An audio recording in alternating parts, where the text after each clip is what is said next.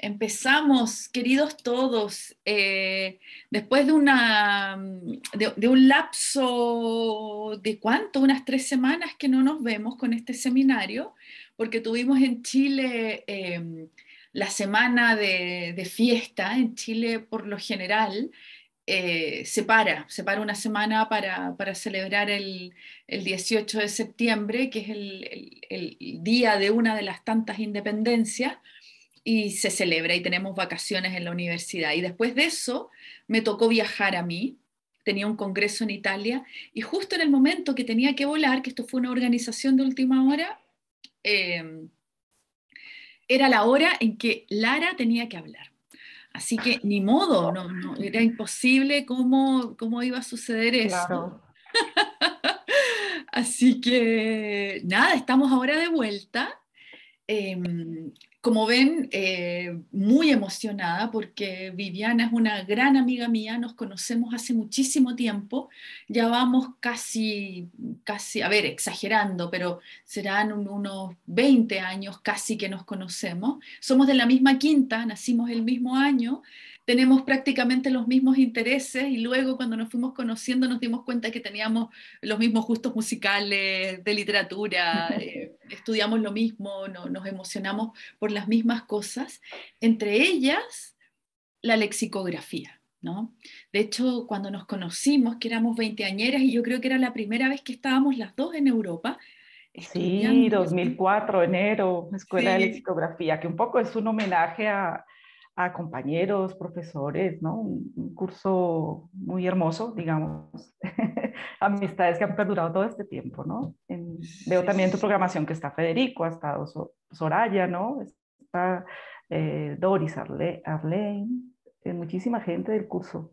Sí. Y qué bueno, qué bueno que nos sigamos el rastro todos estos años. No, seguimos el, el, el rastro y ya luego... Eh eh, Viviana siguió formándose con, en lexicografía y ya una lexicografía mucho más lingüística, ¿no? mucho más lexicológica en la, en la Pompeu Fabra.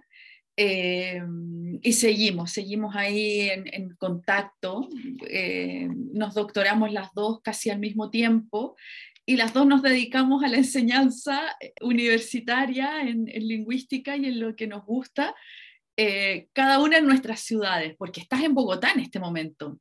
Sí, sí, eh, desde el 2018, sí, estoy en Bogotá y bueno, fue como llegar, pandemia, eh, teletrabajo y bueno, bien, contenta trabajando en la Universidad Pedagógica Nacional, y que es un poco, mm, digamos, mi alma mater. Y, bueno, también a la espera de poder continuar en esta línea de proyectos en lexicología, lexicografía, porque hay que decir que está un poco quieto, ¿no? Digamos que el, eh, muchos eh, pregrados, ¿no? Cada vez restringen más estos espacios para eh, reflexiones en torno al léxico, la lexicografía, incluso la confección misma de diccionarios, el trabajo editorial. Creo que ha entrado como en un, en un stand-by, incluso antes de la pandemia, y bueno, por eso celebro que, que existan estos espacios donde nos reencontramos y, y, bueno, y ponemos en común estos intereses de hace ya bastante tiempo, ¿no? Y, y un poco la repercusión que tiene no solo en, el estudio lexicográfico, sino enseñanza de lenguas, reflexiones sobre lengua materna, etcétera, etcétera. Totalmente, totalmente. ¿Me escuchas bien, Sole? Sí, perfecto, se escucha todo muy bien. Mi audio diario de clases y la imagen, bueno, espero que esté funcionando todo bien. No, todo perfectamente bien.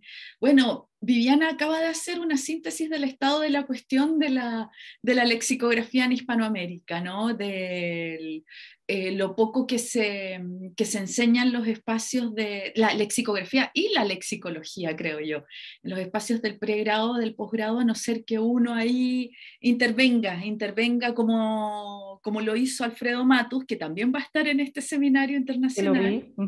Sí, mi maestro y nuestro profesor también en, ese, en esa maestría emblemática, Matus hacía el curso electivo en pregrado. Bueno, tú estudiaste en el Caro Cuervo, hiciste una, hiciste una primera maestría en el Caro Cuervo y ahí trabajaste con lexicografía también, ¿no? Sí, digamos que, que, mm, en, la maestría fue fundamental para mí, esa maestría en lingüística hispánica, porque teníamos un espacio eh, que se llamaba lexicografía, ¿no? Y, y, digamos que allí fue pues toda la tradición que tiene el instituto en la labor lexicográfica, etcétera, empezar a acercarme a esta reflexión y también práctica lexicográfica.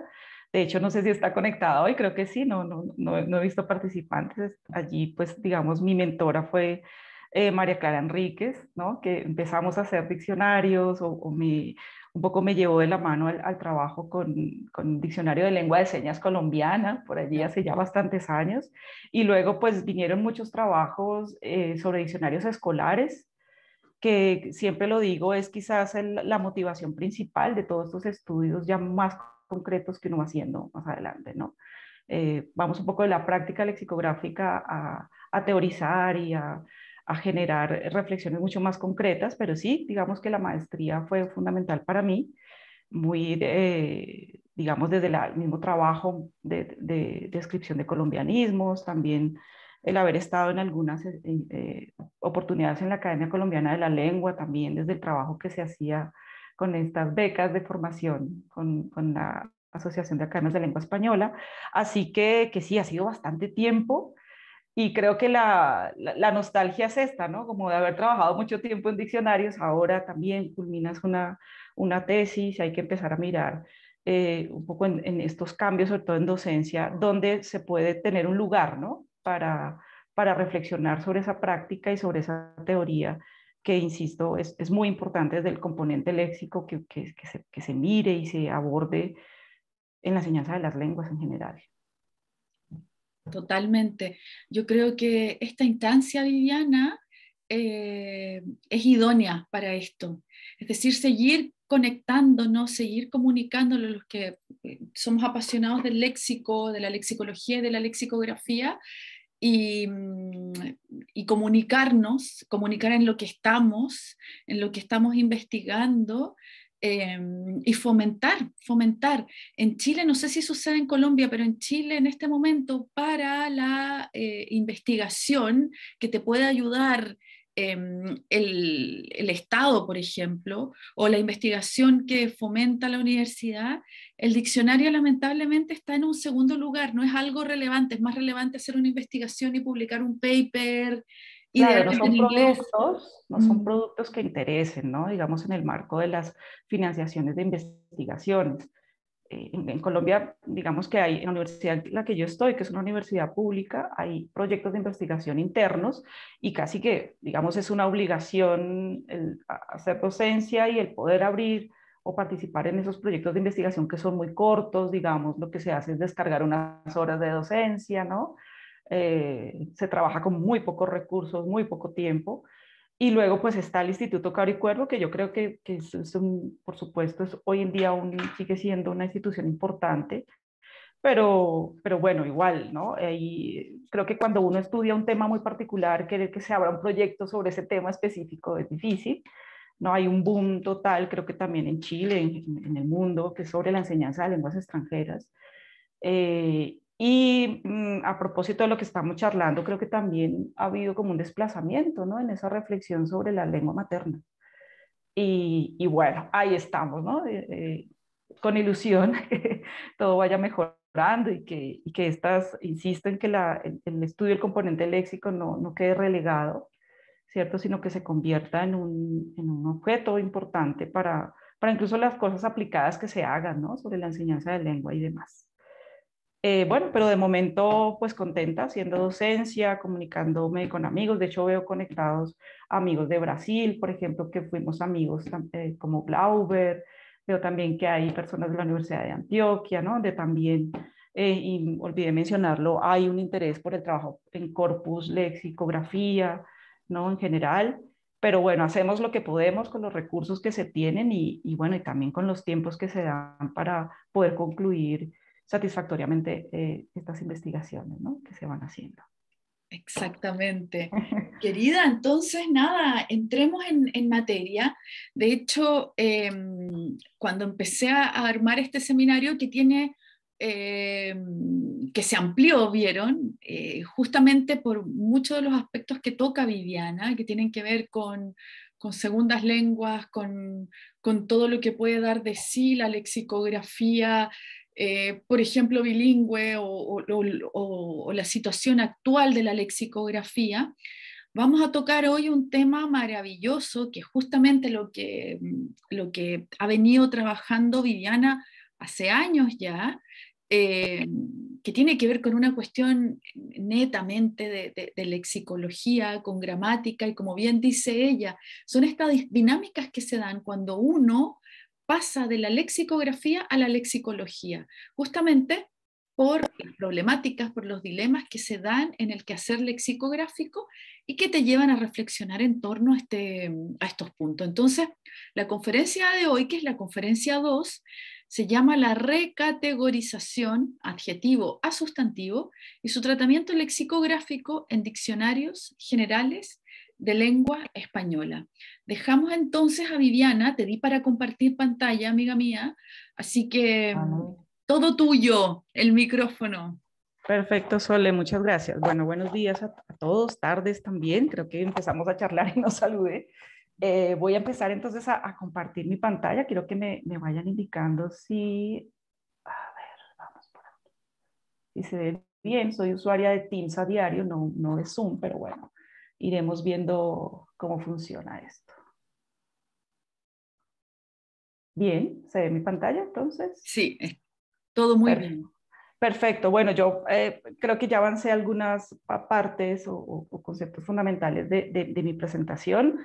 Eh, simplemente reitero eh, el agradecimiento a Soledad, a, este seminario, a, esta oportunidad que tengo para, para reencontrarme con, profesores, con amigos, con investigadores, con interesados en el ámbito de la lexicografía y la lexicología, eh, sobre todo en este panorama que, que di actual, donde pues cada vez se restringen más estos espacios profesionales, digamos, laborales para eh, pensar ¿no? y reflexionar sobre eh, la práctica lexicográfica, sobre la lexicología e incluso ver o examinar eh, objetivamente esa repercusión que tienen estos estudios en, en, la enseñanza de las lenguas, en la docencia en general, ¿no? etcétera, etcétera. también agradezco esta, esta, este espacio porque me permitió, yo defendí mi tesis doctoral a finales del 2019, como lo indicó Soledad, en el en la Universidad Pompeu Fabra, siendo parte del grupo de investigación, que fue también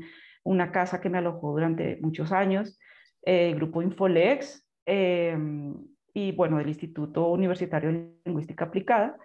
Y, creo que desde el 2019 que regresé, hice un ejercicio que a lo mejor muchos hacen después de defender su tesis, y es hacer una pausa frente a la tesis, ¿no? Creo que mm, me sirvió este seminario para retomarla, ¿cierto? Mirarla, releerla, releerme y de hecho eh, me, lo, me, lo, preguntaban amigos hace unos días que sabían de este seminario yo les decía, pues estoy haciendo un ejercicio de, de recordar, ¿no? Un ejercicio un poco respondiendo a la pregunta de cómo lo hice, ¿no? Sobre todo porque esta tesis es una tesis como yo la veo ya después de, un año y medio, dos años casi de haberla culminado y defendido, como una tesis que tiene aportaciones metodológicas, es decir, eh, a lo mejor no, no doy soluciones a, a, estas problemáticas, yo creo que, que sería muy ambicioso decir que soluciono eh, esta, el tema, digamos, de la representación lexicográfica sobre este tipo de recategorización, pero sí creo que hay unas reflexiones válidas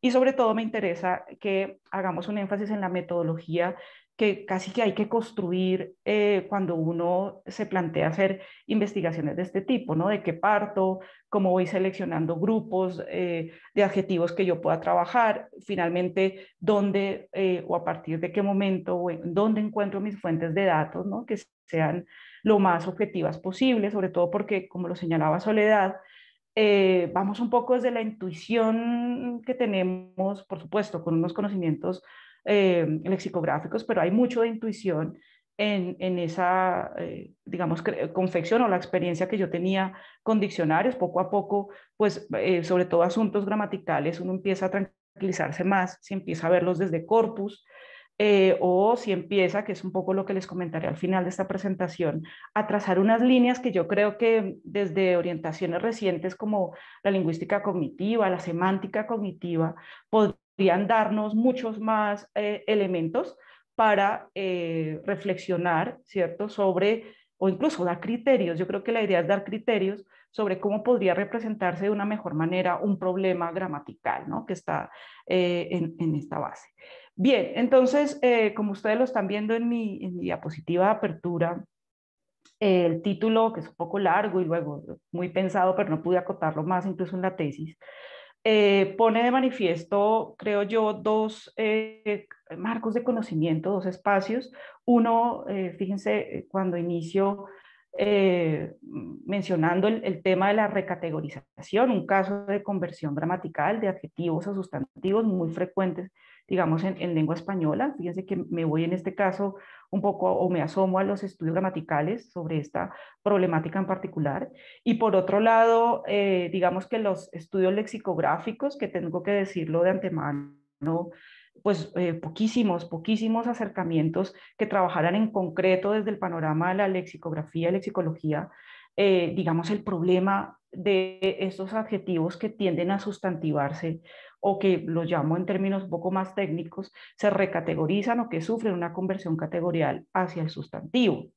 Fíjense que estos dos términos, recategorización, adjetivo sustantivo y, tratamiento lexicográfico, eh, pues además de acercarme a estos dos campos, pues me, llevó también a tomar decisiones sobre, por ejemplo, qué tipo de diccionarios iba a estudiar. Una confesión inicial es que yo empecé eh, digamos, en estos borradores que se hacen en, el trabajo eh, de doctorado, eh, esbozando más bien un trabajo sobre diccionarios escolares, porque como les decía, había sido una práctica previa y sentía que cuando llegábamos a estas entradas donde encontrábamos adjetivos que también podían ser sustantivos en ciertas acepciones, pues había un, poco una decisión muy intuitiva, ¿no? De poner adjetivo barra inclinada sust o añadir una nota donde se dijera de manera muy, eh, digamos, muy vaga, ¿no? Creo yo, muy ligera, que eh, un adjetivo podía ser sustantivo, ¿no? Y esta eh, preocupación entonces, digamos, me llevó a, a, tomar una decisión y es que muchas veces, como lo sabemos, los diccionarios escolares pues son herederos de esas, de las buenas y las malas prácticas lexicográficas que encontramos en los diccionarios generales.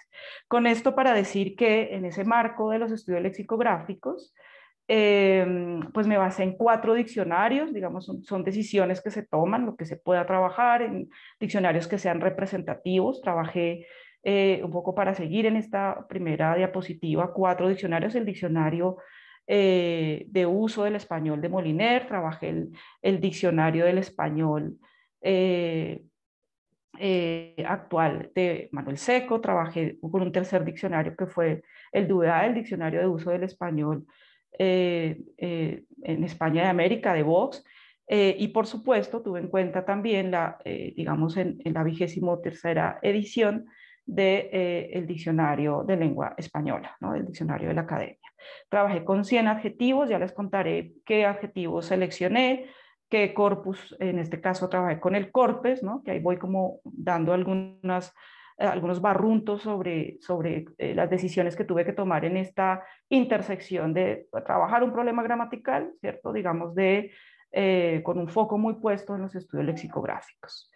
Bien, mm, un primer ejercicio que quisiera mostrar aquí es pues, pues, lo que uno podría decir si, observamos en estas, digamos, cuatro muestras lexicográficas que tengo, algunas eh, percepciones que podríamos tener desde usuarios, ¿no? En frente a esta entrada sensato, ¿no? He señalado algunas cosas que, insisto, eh, por allí em, em, empecé un poco a, plantearme preguntas y a ver las eh, diferencias, ¿no? La diversidad de criterios que podrían estar implícitos en estas representaciones. Fíjense, por ejemplo, que no todos los diccionarios, aquí estoy citando los que, diccionarios con los que yo trabajé, pues no dan cuenta de la doble identidad categorial, ¿no? Hay decisiones que se toman, por ejemplo, en, simplemente marcar una de las dos categorías, acá, por ejemplo, el adjetivo, En otros casos vemos también una diversidad de criterios, fíjense en los recursos lexicográficos,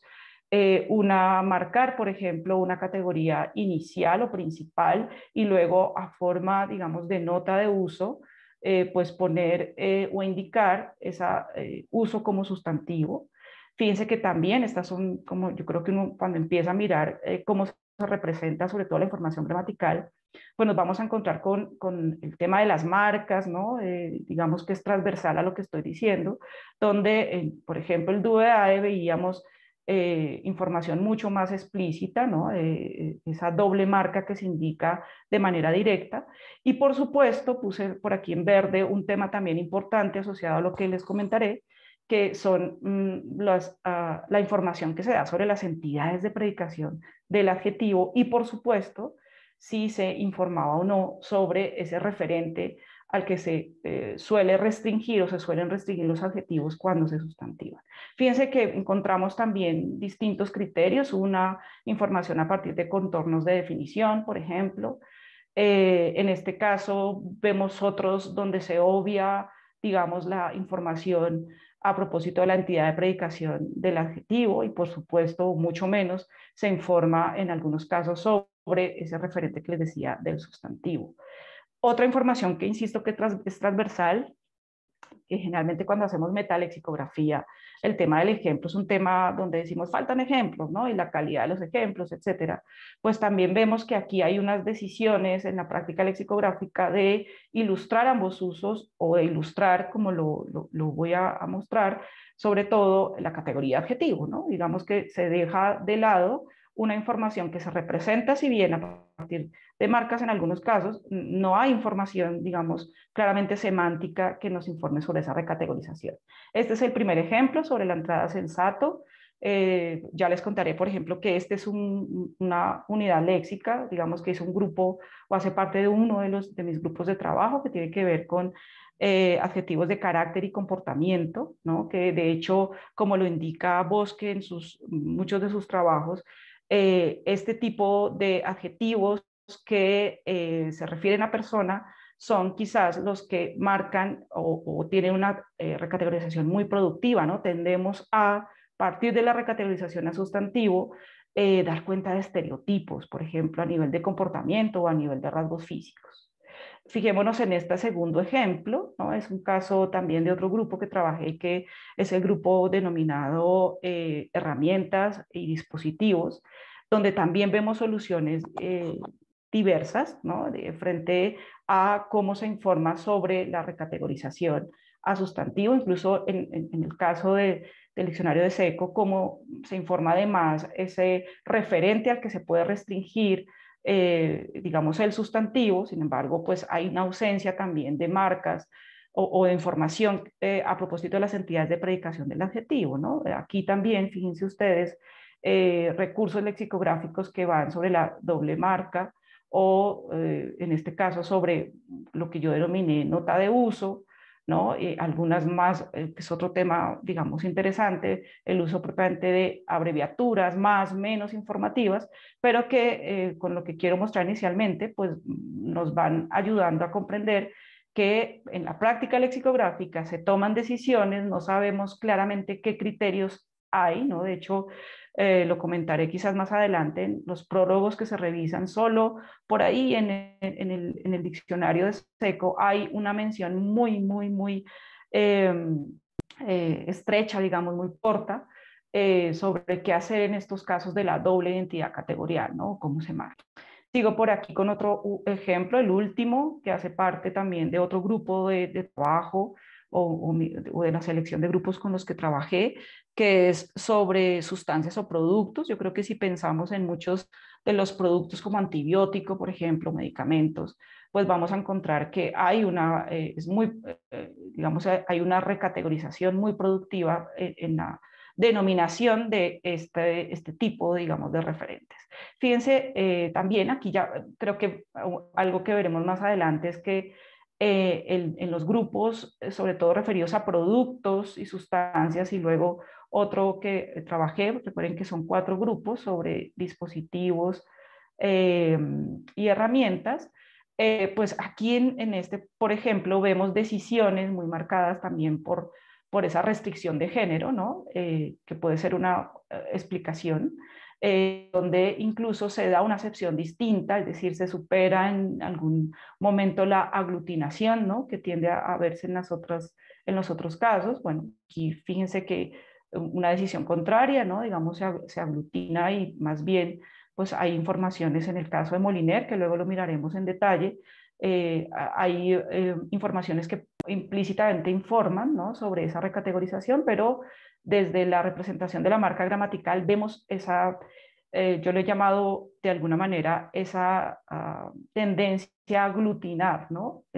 son los diccionarios y alguien me dirá, pues hay que buscar la economía de la representación, pero creo que hay que lograr un poco el equilibrio entre no llegar a, la, aglutinar, por ejemplo, información que incluso pragmáticamente puede ser importante, pensemos, no, vale para este ejemplo, pero sí los anteriores, en cómo rasgos, eh, por ejemplo, físicos, o de carácter o comportamiento, si se sustantivan, tienen unas implicaciones pragmáticas.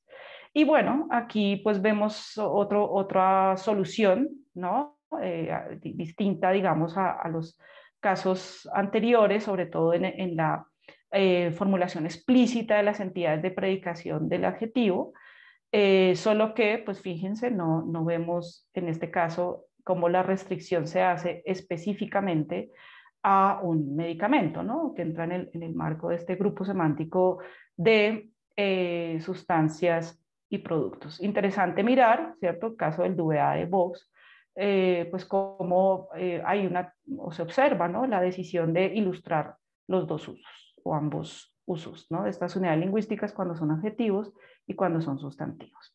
Bien, estas diapositivas iniciales muy exploratorias, que era un poco para, las, las puse para ambientarnos en, en, el trabajo lexicográfico, ver esa eh, divergencia posiblemente de criterios que aún, insisto, mm, pues no sabemos claramente si son criterios eh, propiamente etimológicos. Yo al final creo que sí, hay diccionarios que siguen un criterio más etimológico para esa decisión de qué categoría se pone inicialmente y luego cuál se pone o, dar una especie de jerarquía en esa eh, representación. Y también, em, pues como lo vamos viendo, ¿no? hay, hay también eh, seguramente criterios semánticos eh, que podrían irnos mostrando, por ejemplo, la decisión morfológicos y semánticos de separar ¿no? o mostrar en, acepciones diferenciadas estos usos, ¿no? Estos usos como adjetivo y sustantivo.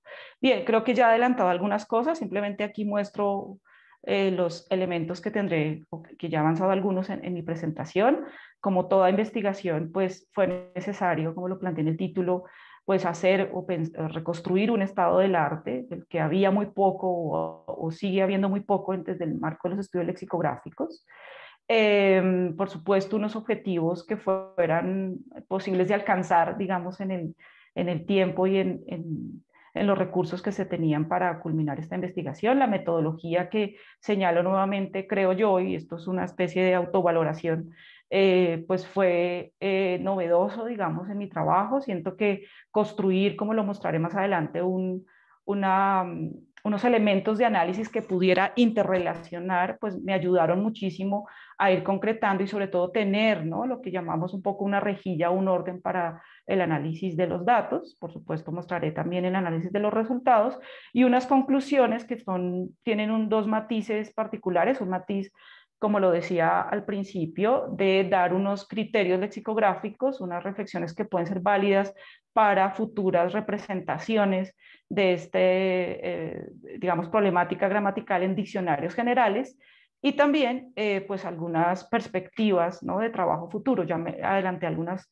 cuestiones donde insisto en que si estudiamos mucho más a fondo la semántica y la morfología de ese tipo de adjetivos que se recategorizan en sustantivos, creo que eh, desde el plano lexicográfico iremos un poco más seguros sobre todo en, temas alrededor de eh, cómo eh, eh, elegir un orden ¿no? en estas marcas gramaticales o de hecho pensaba o pienso que el trabajo alrededor de la ordenación de acepciones, que sigue siendo uno de los grandes temas en, en la reflexión lexicológica y lexicográfica, eh, pues puede, mm, digamos, tomarse ¿no? como referencia para, eh, para, para ir más seguros, insisto, menos intuitivos en la representación de este problema eh, gramatical, problema morfológico, que, que, es muy, muy concreto en lo que trabajé.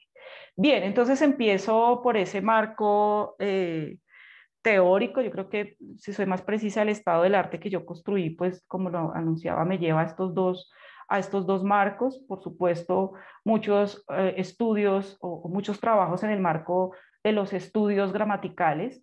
Por supuesto, esta, este interés por ver qué pasa con adjetivos que se sustantivan en diccionarios me llevó a ir ¿no? mucho más atrás y ver que hay un problema lingüístico de base que son eh, o tiene que ver con los criterios de delimitación de categorías gramaticales, ¿no? que digamos no solamente tiene que ver con un tema en lengua española, digamos es en las lenguas en general, como muy bien lo indica Bosque en su trabajo que para mí fue supremamente orientador eh, de su libro Categorías gramaticales, pues los límites entre las eh, categorías gramaticales suelen ser borrosos, ¿no? Los criterios gramaticales, eh, morfológicos, semánticos también, digamos, tienen, eh, tienen fallas, ¿no? Y, no se convierten en criterios únicos de diferenciación. Y por otro lado, pues ya me, adentré, digamos, en, el, en, el, en los estudios gramaticales en lengua española, de ahí, pues, por supuesto, un tema obligado de revisión, eh, pues lo que tenían las principales gramáticas de lengua española sobre este tema, eh, el trabajo de Fernando Ramírez muy, importante, incluso porque eh, encontraba que el adjetivo incluso no se trabaja como una categoría distinta al nombre, ¿no? sino que incluso desde la tradición también lo decía Bosque en la gramática eh, de la Academia del año 73, ¿no? la, categoría adjetivo, digamos, se denominaba o era subsidiaria de, la categoría sustantivo, tanto que se hablaba del nombre adjetivo. ¿no? Y luego voy encontrando trabajos más eh, orientados hacia el adjetivo en particular, el de Romero del 89, eh, lo que les indicaba del texto de las categorías gramaticales de Bosque, y por supuesto, revisión obligada sobre las gramáticas de la academia, ¿no? la gramática descriptiva de la lengua española, fundamental eh, para esto los trabajos de Violeta de Monte, que insisto, abordan el adjetivo en, eh, digamos, en términos generales y eh, mm, luego hay algunos capítulos, ¿no? algunos contenidos específicos sobre esa recategorización muy productiva en español de adjetivos a sustantivos. En todo caso, para mí, esta, la revisión de la nueva gramática de lengua española, ya les contaré por qué fue tan importante. ya veo que es un digamos, se amplían muchas de las anteriores descripciones sobre esta recategorización en particular, sobre todo porque me va a ofrecer a mí la, nueva gramática, eh, grupos, ¿no? Grupos de adjetivos, eh, grupos semánticos en los cuales eh, se ha documentado, por lo menos en, esta gramática, ocurre con mucha frecuencia ese paso de adjetivo a sustantivo. Y como lo comentaba, no me voy a tener mucho en ello, en los estudios lexicográficos, pues eh, tuve que ir también por cuestiones más generales, porque no hay, digamos, no, no, no existían eh, trabajos que abordaran en concreto el tema de la representación eh, lexicográfica de este, este tipo de unidades léxicas que sufrían o, o, o tenían una doble identidad categorial. sin embargo, bueno, fíjense que, eh, y si lo, ustedes luego lo miran en, en, mi tesis, que luego les dejaré el enlace donde aparece eh, online, em, pues fue necesario empezar a ver que de fondo también había un problema, un problema eh, clásico, digamos, y es la representación de la información gramatical en, en, en, los diccionarios, ¿no? Y por eso también encontrarán ustedes que pues hice un poco una reconstrucción de lo que se ha dicho en algunos de los manuales de lexicografía más, más importantes, digamos, sobre no la recategorización en concreto, pero sí cuáles son esas eh, partes del artículo lexicográfico que podrían mirarse, ¿no? que pueden estar dando cuenta de, este, digamos, de esta información eh, que es medular, ¿no? que es la categoría gramatical. ¿no? Esto tiene repercusiones, eh, la decisión de una categoría gramatical tiene repercusiones en muchas partes del artículo lexicográfico, ¿no? en la ejemplificación, en el orden mismo de acepciones, en la lematización, por ejemplo. Y luego, como lo dice en el marco de los estudios gramaticales, si observamos aquí, pues eh, encontré muy poco, sin embargo hubo un trabajo aquí importante que es el de eh, un, capítulo del libro de Jesús Pena en un, en un libro que se llama Categorías híbridas y límites intercategoriales, en el que él justamente, utilizando como corpus algunos diccionarios de lengua española, pues muestra esas dificultades. En el social manager, se abrió algún micrófono, creo. Voy a silenciar, espera. Ahí. Ya está. Perdón. no pasa nada, la vida es real. Entonces, decía que, voy a leer la cita de este trabajo de Jesús Pena del 2008 que dice lo siguiente, ¿no? Un poco desde su eh, marco de estudio, de estudios gramaticales, donde se acercó en este capítulo a mirar el problema, digamos, que se reflejaba en el trabajo lexicográfico. Y bueno, voy a leer esta, esta cita. Eh, en mi tesis digo, en, en la introducción, citando a Pena, que eh, a propósito de, los estudios gramaticales que han abordado esta conversión gramatical, pues son escasos los trabajos lexicográficos que indagan sobre los criterios que adoptan los diccionarios para representar esta recategorización. Y digo que Pena eh, plantea al respecto, comillas, que los diccionarios son un buen muestruario, dice él, muestrario, de cómo las categorías no son discretas, de cómo hay intersecciones o zonas de transición de una categoría a otra. Además, afirma, sigue afirmando Pena en ese trabajo, comillas, las discrepancias e incoherencias en el tratamiento muestran que el lexicógrafo tropieza con notables dificultades en la adscripción categorial de las palabras cuando se trata de categorías híbridas. Y, y, a partir de este trabajo, ¿no? creo que me sentí menos sola, eh, porque sabía ya un poco desde, este autor que eh, efectivamente hay un problema lingüístico que se refleja en estas dificultades que tienen los psicógrafos para representarlo. Eh, aquí también pues cito algunos trabajos míos, como lo dije antes, por ejemplo, este trabajo de 2011 fue eh, mm, sobre algunos adjetivos en diccionarios escolares y demás, pero pues luego a medida que fui trabajando sobre la tesis, quizás por eso me tardé tanto, pues fui haciendo eh, algunos artículos eh, que, que, divulgué en algunos congresos, bueno, comunicaciones en general, eh, sobre algunos de estos grupos de objetivos que ya pues se cristalizaron en la tesis, ¿no? Y que trabajaban la recategorización, tomaban los datos lingüísticos, veía sus repercusiones en el tratamiento lexicográfico y, planteaba problemas que a lo mejor podrían irse eh, resolviendo, ¿no? Poco a poco. Bien, los objetivos de mi investigación los pongo aquí, espero que sean visibles y claros un objetivo, mi objetivo general, eh, mi objetivo central fue analizar esta recategorización y proponer criterios de representación en diccionarios generales de lengua española, insisto, unas reflexiones válidas que veremos al final, apoyada también en lo que encontré en los diccionarios, apoyada también en los datos que encontré en corpus y que mm, quiero siempre señalar pues eh, es tan solo ¿no? una aproximación, mm, sobre todo desde donde se empieza, ¿no? de dónde selecciono estos adjetivos de trabajo, que al principio digo que son adjetivos, pero luego encuentro en corpus que son, aparecen más como sustantivos. ¿no? Entonces, eh, fue todo un, digamos, un trabajo muy de decisiones en términos de hay muy poco, mm, pero igual necesito seleccionar una muestra, objetivizarla, mm, que lo hacemos, digamos, hoy en día a partir del trabajo de corpus, eh, examinar cómo lo hace, yo creo que cualquier investigación en este campo, sobre todo eh, desde la metalexicografía, ¿no? mirar qué están haciendo los diccionarios y por último llegar a proponer algunos criterios. Pongo aquí entonces el, el objetivo general y fijémonos en estos objetivos que si los miramos, pues yo pienso que son objetivos muy metodológicos, ¿no? Eh, en, primero, ¿cierto? La, digamos, la selección de estas unidades eh, dentro de cuatro grupos de trabajo.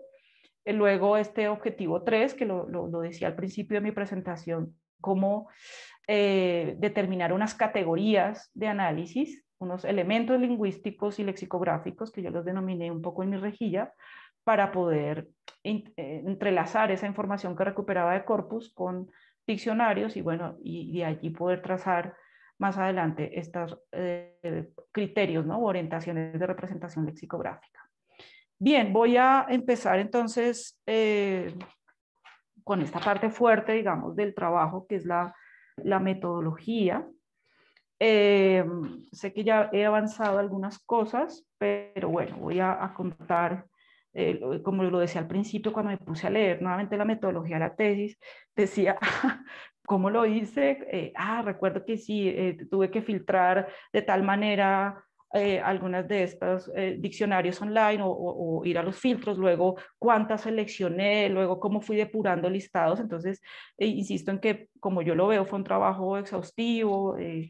Eh, de recoger datos e ir tomando decisiones.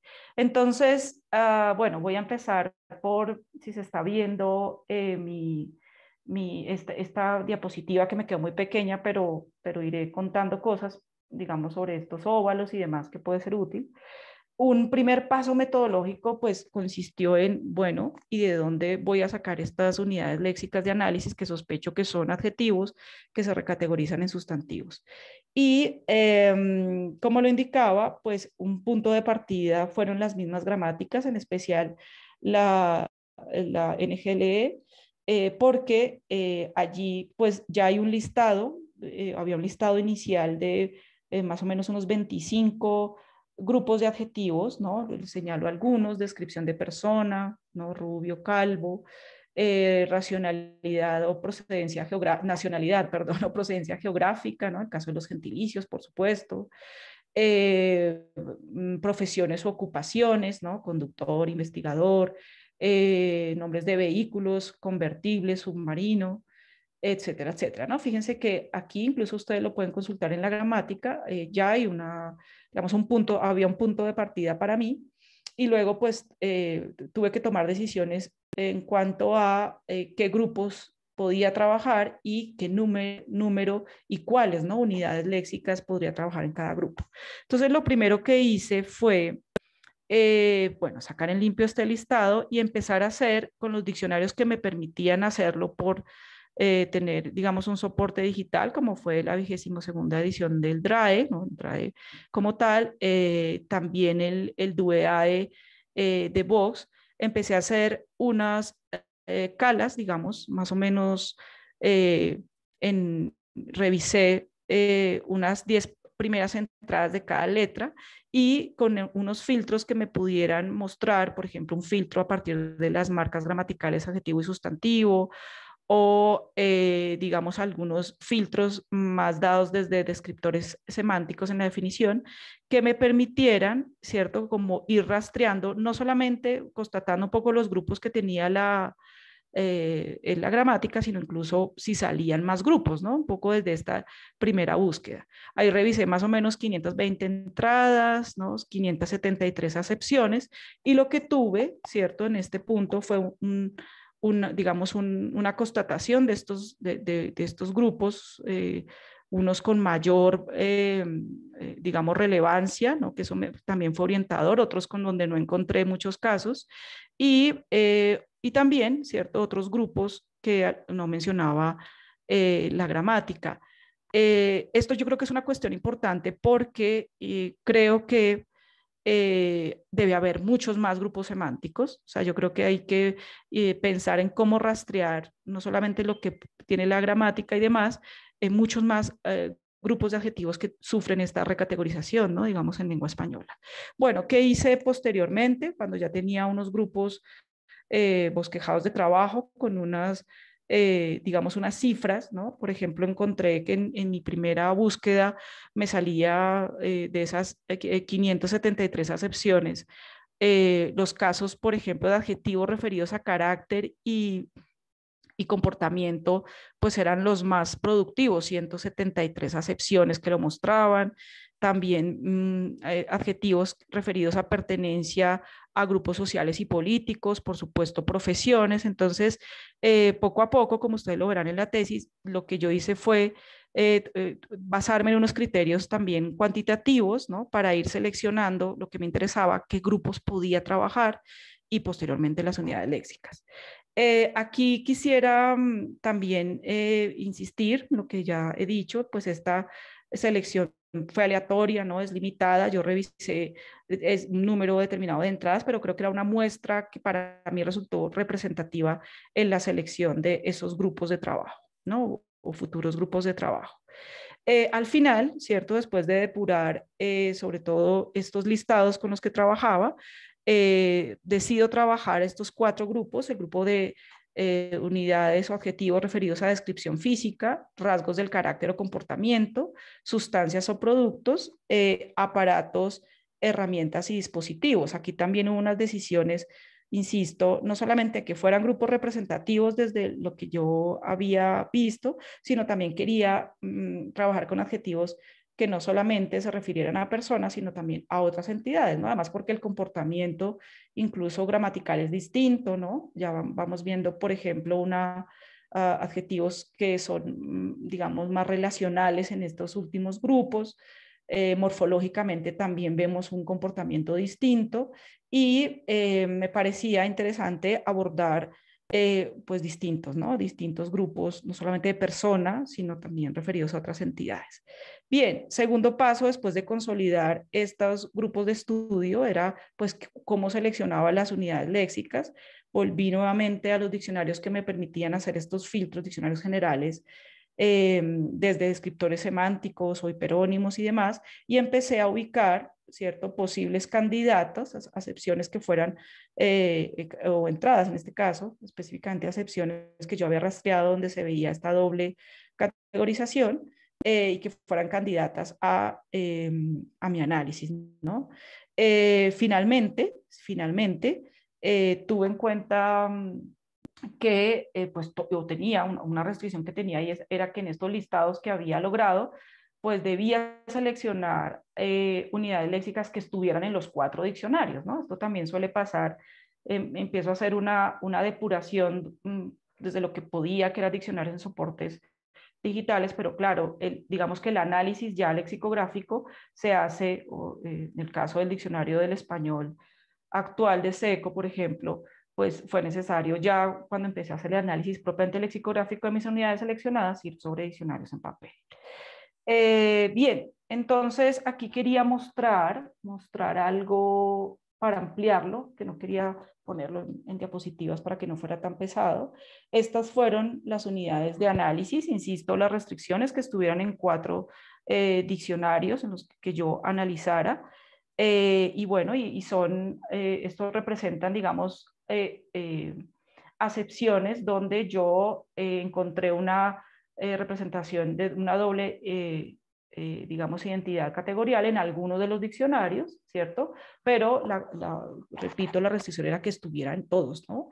Para luego poder hacer el ejercicio contrastivo.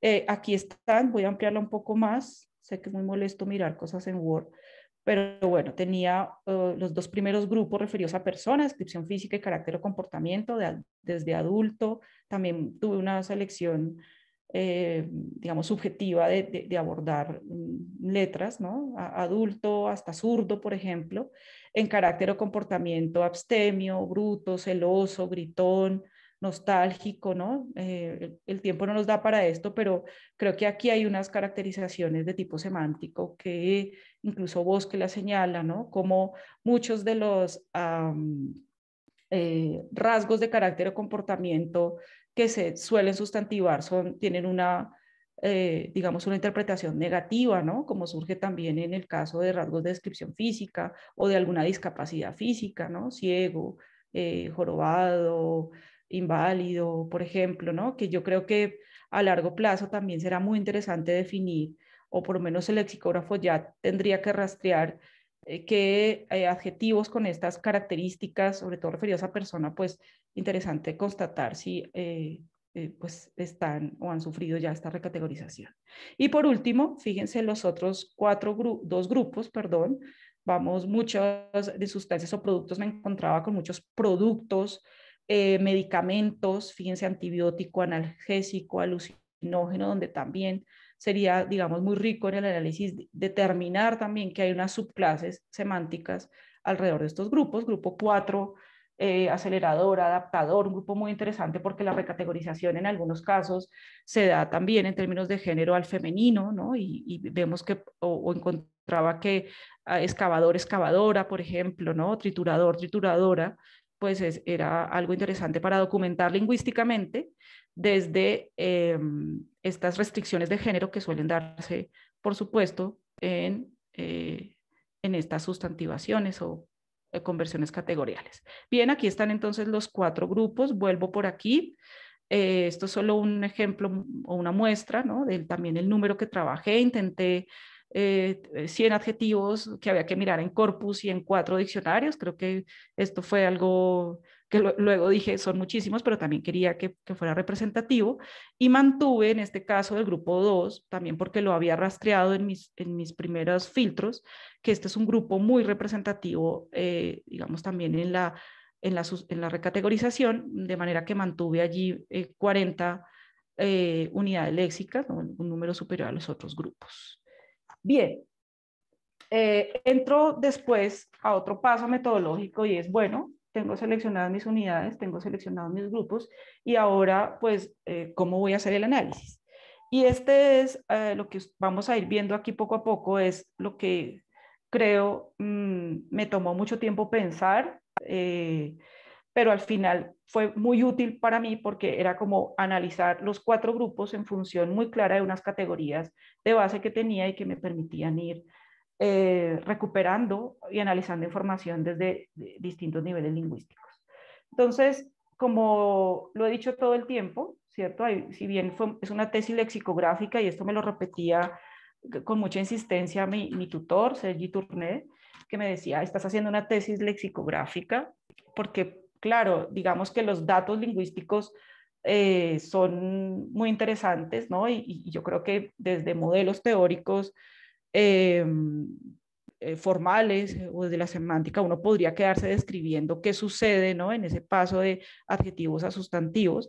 Y, muchas veces tuve que eh, concentrarme en mi objetivo lexicográfico, ¿no? Detecto algunos, desde mi descripción lingüística, algunos comportamientos, ¿no? Que observaba en corpus y que me ayudaban también, por supuesto, los estudios gramaticales, pero no podía dejar Em, de lado que mi interés era lexicográfico. Entonces, lo que planteé, ¿cierto? Son, fueron unas unidades, eh, categorías de análisis. Por ejemplo, en el nivel morfológico, fundamental en mi trabajo, la información morfológica. Recuerden que todo empieza por cómo se representa esta, esta información morfológica de marcas, de adjetivos y sustantivos. Y em, pues empecé a trazar, si van viendo cómo van apareciendo, estas categorías de análisis, es decir, em, el análisis de corpus mm, intentaré ver, ¿cierto? Si me proporciona información sobre la doble identidad categorial, si se presenta, si no se presenta, eh, cuál es la categoría que es más frecuente, digamos, si es adjetivo o sustantivo. Y también quería buscar información sobre esa restricción de género y número que ya las gramáticas por ahí habían anunciado, en algo, o por lo menos tendencias y en otros casos restricciones, por supuesto, en ese paso de adjetivos a sustantivos. Fíjense que aquí creo que la lectura de esta línea mm, que está en esta primera parte tendría que irnos llevando a, bueno, ¿y cómo lo miro? ¿Cuáles serían estos elementos microestructurales mm, en algunos casos o información semántica, donde yo podría ver las repercusiones de esta información gramatical o lingüística en la práctica lexicográfica. Entonces, si vamos viendo uno a uno, em, la información morfológica, eh, me concentré en, en, el corpus en extraer datos sobre categoría gramatical, restricciones o tendencias de género y un número de mis unidades de análisis y luego ver, por ejemplo, si tenía en los diccionarios fuente o de análisis, pues información relevante, por ejemplo, pensemos en que este tema de la restricción, eh, digamos, de género, pues podría tener eh, implicaciones en las decisiones que tomarán los diccionarios sobre la lematización, ¿no? Trituradora, por ejemplo, en un lema distinto a triturador, por ejemplo, ¿no? O, como lo mostraba al principio, eh, el tratamiento mismo de, las acepciones, si era una, un criterio más aglutinante o más de acepciones diferenciadas. Sigo por aquí rápidamente con la información semántica, fundamental en esta investigación. Eh, bueno, como creo yo en cualquier investigación eh, lexicográfica, ¿no? Es, a propósito de esa interrelación entre la información gramatical o, sintáctica y semántica, morfológica y semántica en este caso.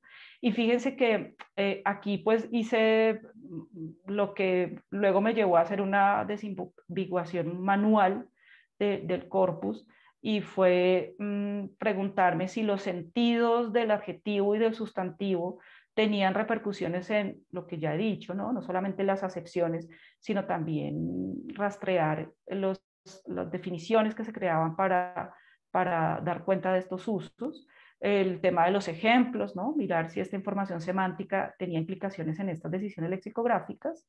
Las entidades de predicación y referentes, que sigo pensando es, es es algo que eh, se necesita estudiar mucho más a fondo, sobre todo en el caso del adjetivo o en, las eh, entidades de predicación del adjetivo, porque eh, pues se nota su ausencia, en, digamos, en, las práctica, en la práctica lexicográfica, ¿no? Y sobre todo, creo que mm, iremos con una mayor certeza si, si podemos llegar a describir si lo que sucede en esa restricción a una de las entidades de predicación del adjetivo eh, es un caso, por ejemplo, de una metonimia, ¿no? Aquí, como lo diré más adelante, sigo con preocupaciones sobre este tema, eh, a propósito de qué es lo que motiva esa restricción, sobre todo desde el punto de vista semántico, para que un adjetivo que predica sobre persona o sobre entidades como sustancias o productos o aparatos, pues tienda a volverse un sustantivo. ¿No? Bueno, y volviendo a lo nuestro, pues aquí mm, nos fijamos entonces en que rastreaba también las implicaciones que tendría eh, en los recursos lexicográficos que eh, decidían utilizar los diccionarios para dar cuenta si lo hacían de entidades de predicación o en este caso de los referentes, ¿no? o el referente al que, el que se recategorizaba el uso sustantivo. Por último, pues fui también un poco ambiciosa y quería recoger desde el corpus y mirar en los diccionarios la información sintáctica que se ofrecía sobre eh, mis unidades de análisis.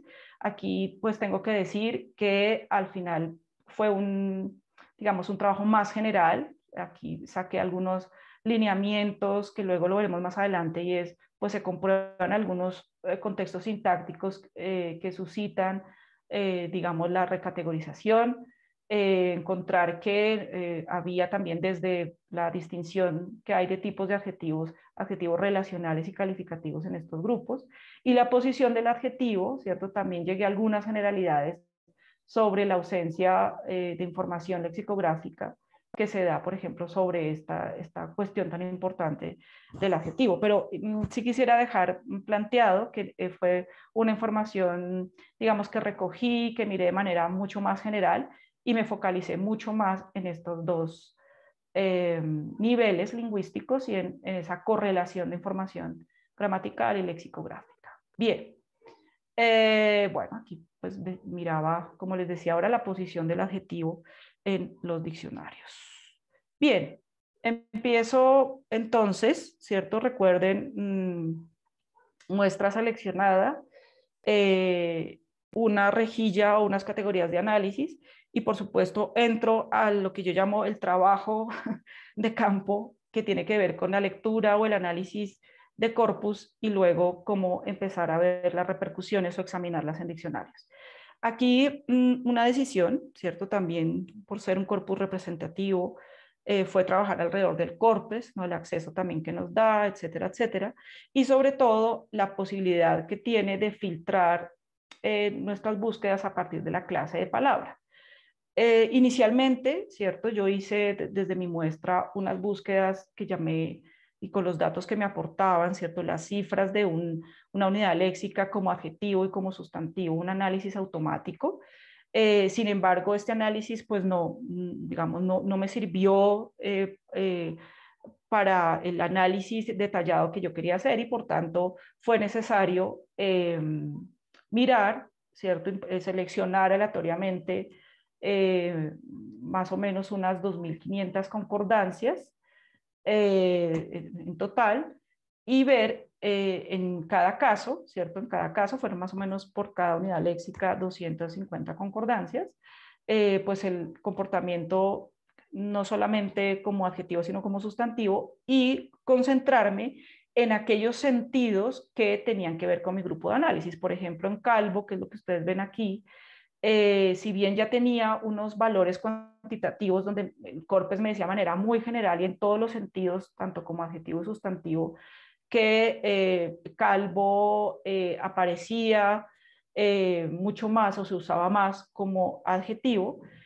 pues no tenía información semántica concreta, con lo cual este análisis manual, ¿cierto? Este análisis manual, pues me llevó a, a hacer un trabajo que tenía que ver con a extraer datos cuantitativos que me permitieran, eh, pues de alguna manera, eh, eh, discriminar, ¿no? ¿Cuáles eran esos usos de calvo referido a persona, cuáles y cuántos, ¿no? Como adjetivo, y si tenía también datos o podía rastrear datos de este uso de calvo, ¿cierto? Como sustantivo referido a persona.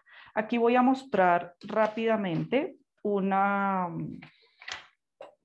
también en mi Word, un, caso específico de este análisis, de cómo voy recogiendo en, a la luz de cada, de cada una de las 250 concordancias estos valores, ¿no? Por ejemplo, aquí ilustro el caso adulto, ¿no? Lo que hice fue mm, rastrear en mi análisis manual de las 250 concordancias eh, como adjetivo en un criterio amplio, pues cuántos usos registraba y ponía también, ya porque era mi interés, en mi grupo específico, es decir, referido a persona, cuántos usos encontraba referido a persona, otros, otros usos, y marcaba también estos usos, en este caso, fíjense que a diferencia de, de Rubio, por ejemplo, donde pues teníamos no solamente la recategorización en el sentido de persona que yo trabajaba, sino que se encontraban también otras recategorizaciones, ¿no? El rubio referido a, tabaco.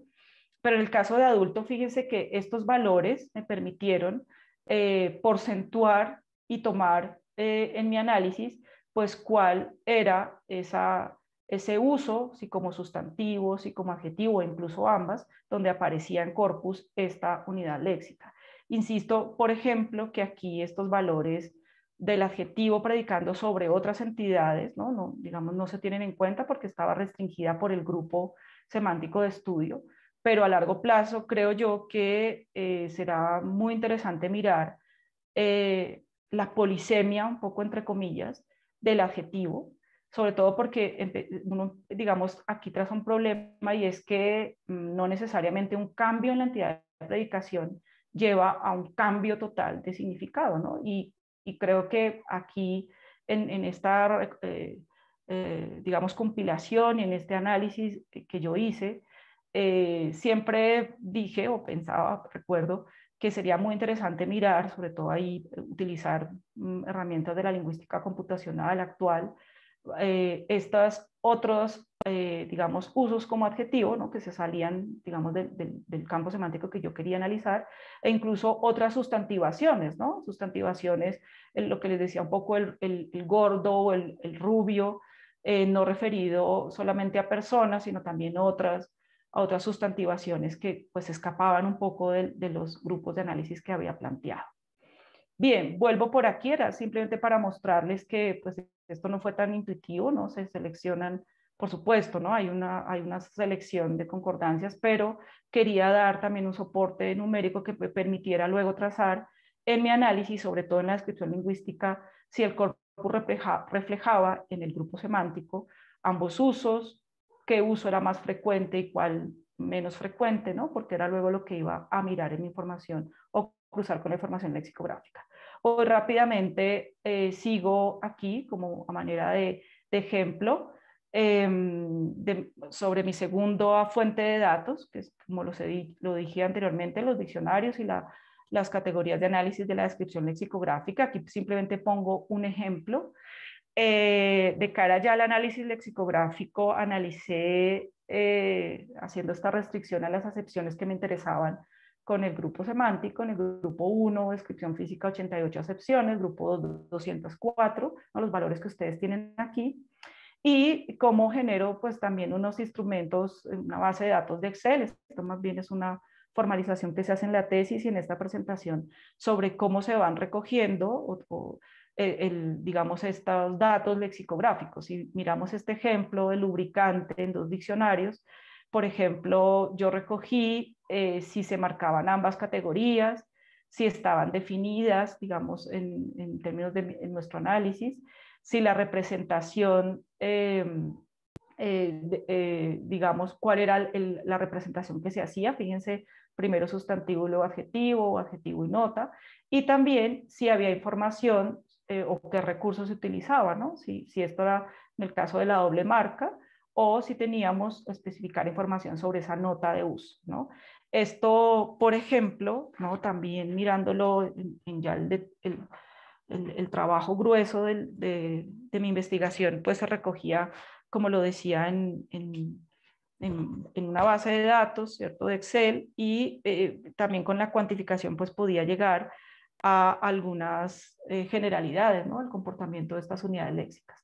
De hecho, voy a mostrar algo, mm, aquí como les mostré, fue la forma de recoger, cuantificar, tomar un poco porcentaje sobre el trabajo de corpus, pero si ven en este caso mi Word, eh, pues van a encontrar eh, ya el cruce de estos dos tipos de información. Por ejemplo, sigo en adulto como ejemplo.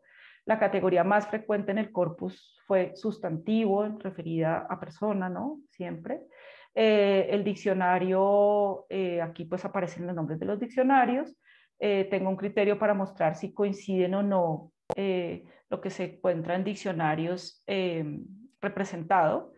Eh, por ejemplo, fíjense que el recurso lexicográfico y una interpretación que se hace de esa primera marca o primera abreviatura es que los diccionarios no trazaron el sustantivo como categoría principal, ¿cierto? En este ejemplo que estoy dando, sino el adjetivo. Por eso hablo de una no coincidencia y voy recogiendo también el recurso lexicográfico, ¿no? Si se trataba de una nota, adjetivo, eh, definición y luego una nota de uso, y la doble marca, ¿no? Otros casos particulares, andrajoso, por ejemplo, si nos fijamos, pues eh, podíamos encontrar decisiones o prácticas lexicográficas donde aparecían como categoría única, ¿sí? simplemente no se daba cuenta de la doble identidad categorial. Todo esto para decir que mm, la información lingüística y lexicográfica intento interrelacionarla e intento ver coincidencias eh, parciales, ¿no? Si hay una coincidencia parcial, total, sé, digamos de antemano que pues no era esperable que, hubiera una coincidencia total entre corpus y diccionarios, porque hay criterios distintos, como lo, lo decía al principio de la clase, perdón, la clase, no, la presentación que se toma en esta representación lexicográfica, pero sí me parece muy orientador, por ejemplo, encontrar que algunas de estas eh, unidades de análisis pues tenían un comportamiento más como sustantivo y pareciera, eh, como lo, lo, lo, vi en la tesis o en la investigación, que hay una decisión, digamos, muy generalizada en diccionarios de representar primero el adjetivo y luego dejar en una jerarquía o en un segundo lugar la, información sobre el sustantivo. Bien, entonces sigo por aquí, ¿no? Estas son pequeñas muestras que tengo eh, sobre cómo se iba recogiendo los datos. Bien, Entramos entonces de lleno, creo que ya voy a ir un poco más rápido al análisis de los resultados. Eh, les recuerdo esas, eh, estos parámetros para ir cruzando información lingüística, lexicográfica y llegando a resultados eh, concretos. Esta, recuerden que estas fue la, fueron las categorías de análisis que tuve en cuenta para hacer esa interrelación en los cuatro grupos. Conclusiones sobre la información morfológica. Una fundamental y es que eh, puedo decir que la doble identidad categorial como adjetivo y sustantivo se refleja ¿no? en los corpus y en los diccionarios que tuve. Pareciera obvia, pero recuerden que cuando yo hice la selección, eh, como fue una selección aleatoria, eh, muy posiblemente en alguno de los cuatro diccionarios no se hubiera podido marcar esta doble identidad categorial, ¿no? Como lo mostré ahora, hay diccionarios, aunque digamos es, algo minúsculo, que optan por mencionar una sola categoría, pero en general, aquí voy por las generalidades, si se da cuenta de esa doble identidad categorial. Segundo hallazgo en mi aproximación, eh, que creo que es fundamental, es la dirección de la recategorización, una interpretación que se hace o que mm, a lo que me llevó un poco el análisis lexicográfico es que pues los diccionarios priorizan o dan como una categoría principal el adjetivo y luego el sustantivo. Eh, y esta es la vía de, de recategorización que por lo menos se plasma en los eh, diccionarios, ¿no? Em, aquí quiero pensar que muchas veces pueden ser criterios que tienen que ver con que el adjetivo en estas entradas suele ser más polisémico o tiene más entidad de predicación que el referente del sustantivo, ¿sí? Y si fuera únicamente el criterio de uso, que eso también lo, lo pongo, pongo en mis conclusiones, pues hubiéramos encontrado que, como lo vimos en Corpus, eh, la mayoría de unidades léxicas tenían un uso más frecuente como sustantivos, y por lo tanto los diccionarios hubieran podido marcar esto, ¿no? Es decir, que una, esta segunda conclusión nos lleva a que no necesariamente es el criterio de uso, ¿no? El que se toma en cuenta para esta representación. Eh, me estoy adelantando a las conclusiones. Yo creo que la decisión sobre la doble identidad categorial y la decisión en la práctica lexicográfica sobre este mm, algo minúsculo y es que pongo primero adjetivo y sustantivo, pues tiene que ser la combinación de criterios, no solamente de uso, insisto, pienso hoy en día que, que si se adelantan más estudios, por ejemplo, desde la semántica cognitiva, muy seguramente podríamos tomar decisiones más eh, acertadas sobre si se deja en una misma acepción o, se separa, dependiendo del tipo de motivación semántica que se tenga. Y por último, ¿cierto? Una información más eh, desde los recursos lexicográficos, los recursos que más utilizaron los diccionarios fueron pues la doble marca. Sin embargo, vamos a ver que la doble marca fue, fue muy representativa en algunos grupos y no en otros.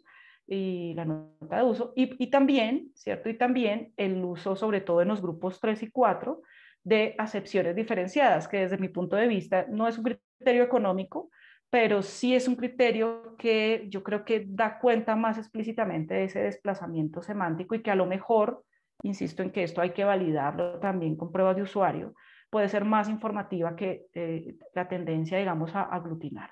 La categoría gramatical, como les indicaba, mm, eh, hacía parte, digamos, de esta eh, información morfológica, pues aquí vemos, esto ya un poco por las generalidades, ahora muestro de manera más concreta estas correlaciones que se hacen entre eh, si se representaba o no en todas las unidades esa doble identidad, qué categoría era más frecuente en corpus y también recogía ¿no? en sendos listados eh, cuál era esa categoría que se podía interpretar como principal en los diccionarios. ¿no? Lo sombreado, fíjense que tienen que ver con estos casos en los que no hay coincidencia con esa categoría eh, más frecuente en corpus.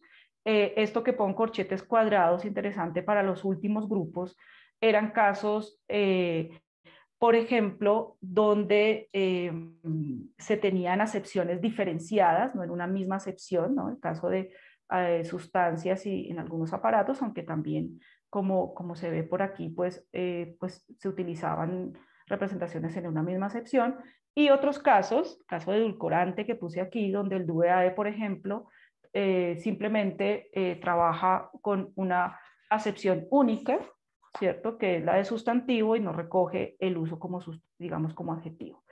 Eh, fíjense que lo que puse aquí eran estas tendencias generales, aquí simplemente estoy mostrando a la luz de esas coincidencias parciales eh, eh, y, digamos, lo que se, se, vio, ¿no? Desde esa diversidad de criterios en, el, en la práctica lexicográfica. En cuanto a género y número, les decía desde el inicio, mi interés fue mirar si había casos de tendencias o restricciones de género y número en ese paso, en corpus de, adjetivos a sustantivos en los grupos semánticos que me interesaban.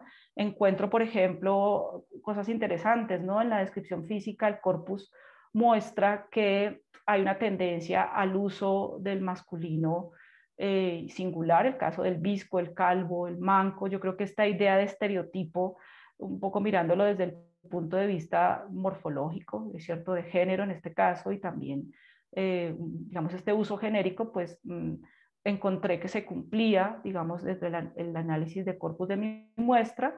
Eh, si nos fijamos en nosotros casos, em, por ejemplo, en el, en de rasgos del carácter o comportamiento, pues no hay, eh, había también como una tendencia a también a este uso masculino singular, el ansioso, el bruto, el mentiroso, eh, en sustancias, productos y aparatos y herramientas, estos dos últimos grupos, por supuesto, pues se ve en algunos casos, ¿no? La restricción al masculino, pero también quería señalar la tendencia a, al uso plural, ¿no? Los antibióticos, los calmantes, que yo insisto en que si ahondamos más sobre esa, digamos, de las implicaciones semánticas que tendría o la motivación de recategorizar con una tendencia más al uso plural eh, y, masculino, pues podríamos encontrar mm, cuestiones muy interesantes. Y por último, en herramientas y, aparatos, aquí un dato interesante es que pues encuentro, por supuesto, eh, eh, ya restricciones, no solamente al masculino, sino también al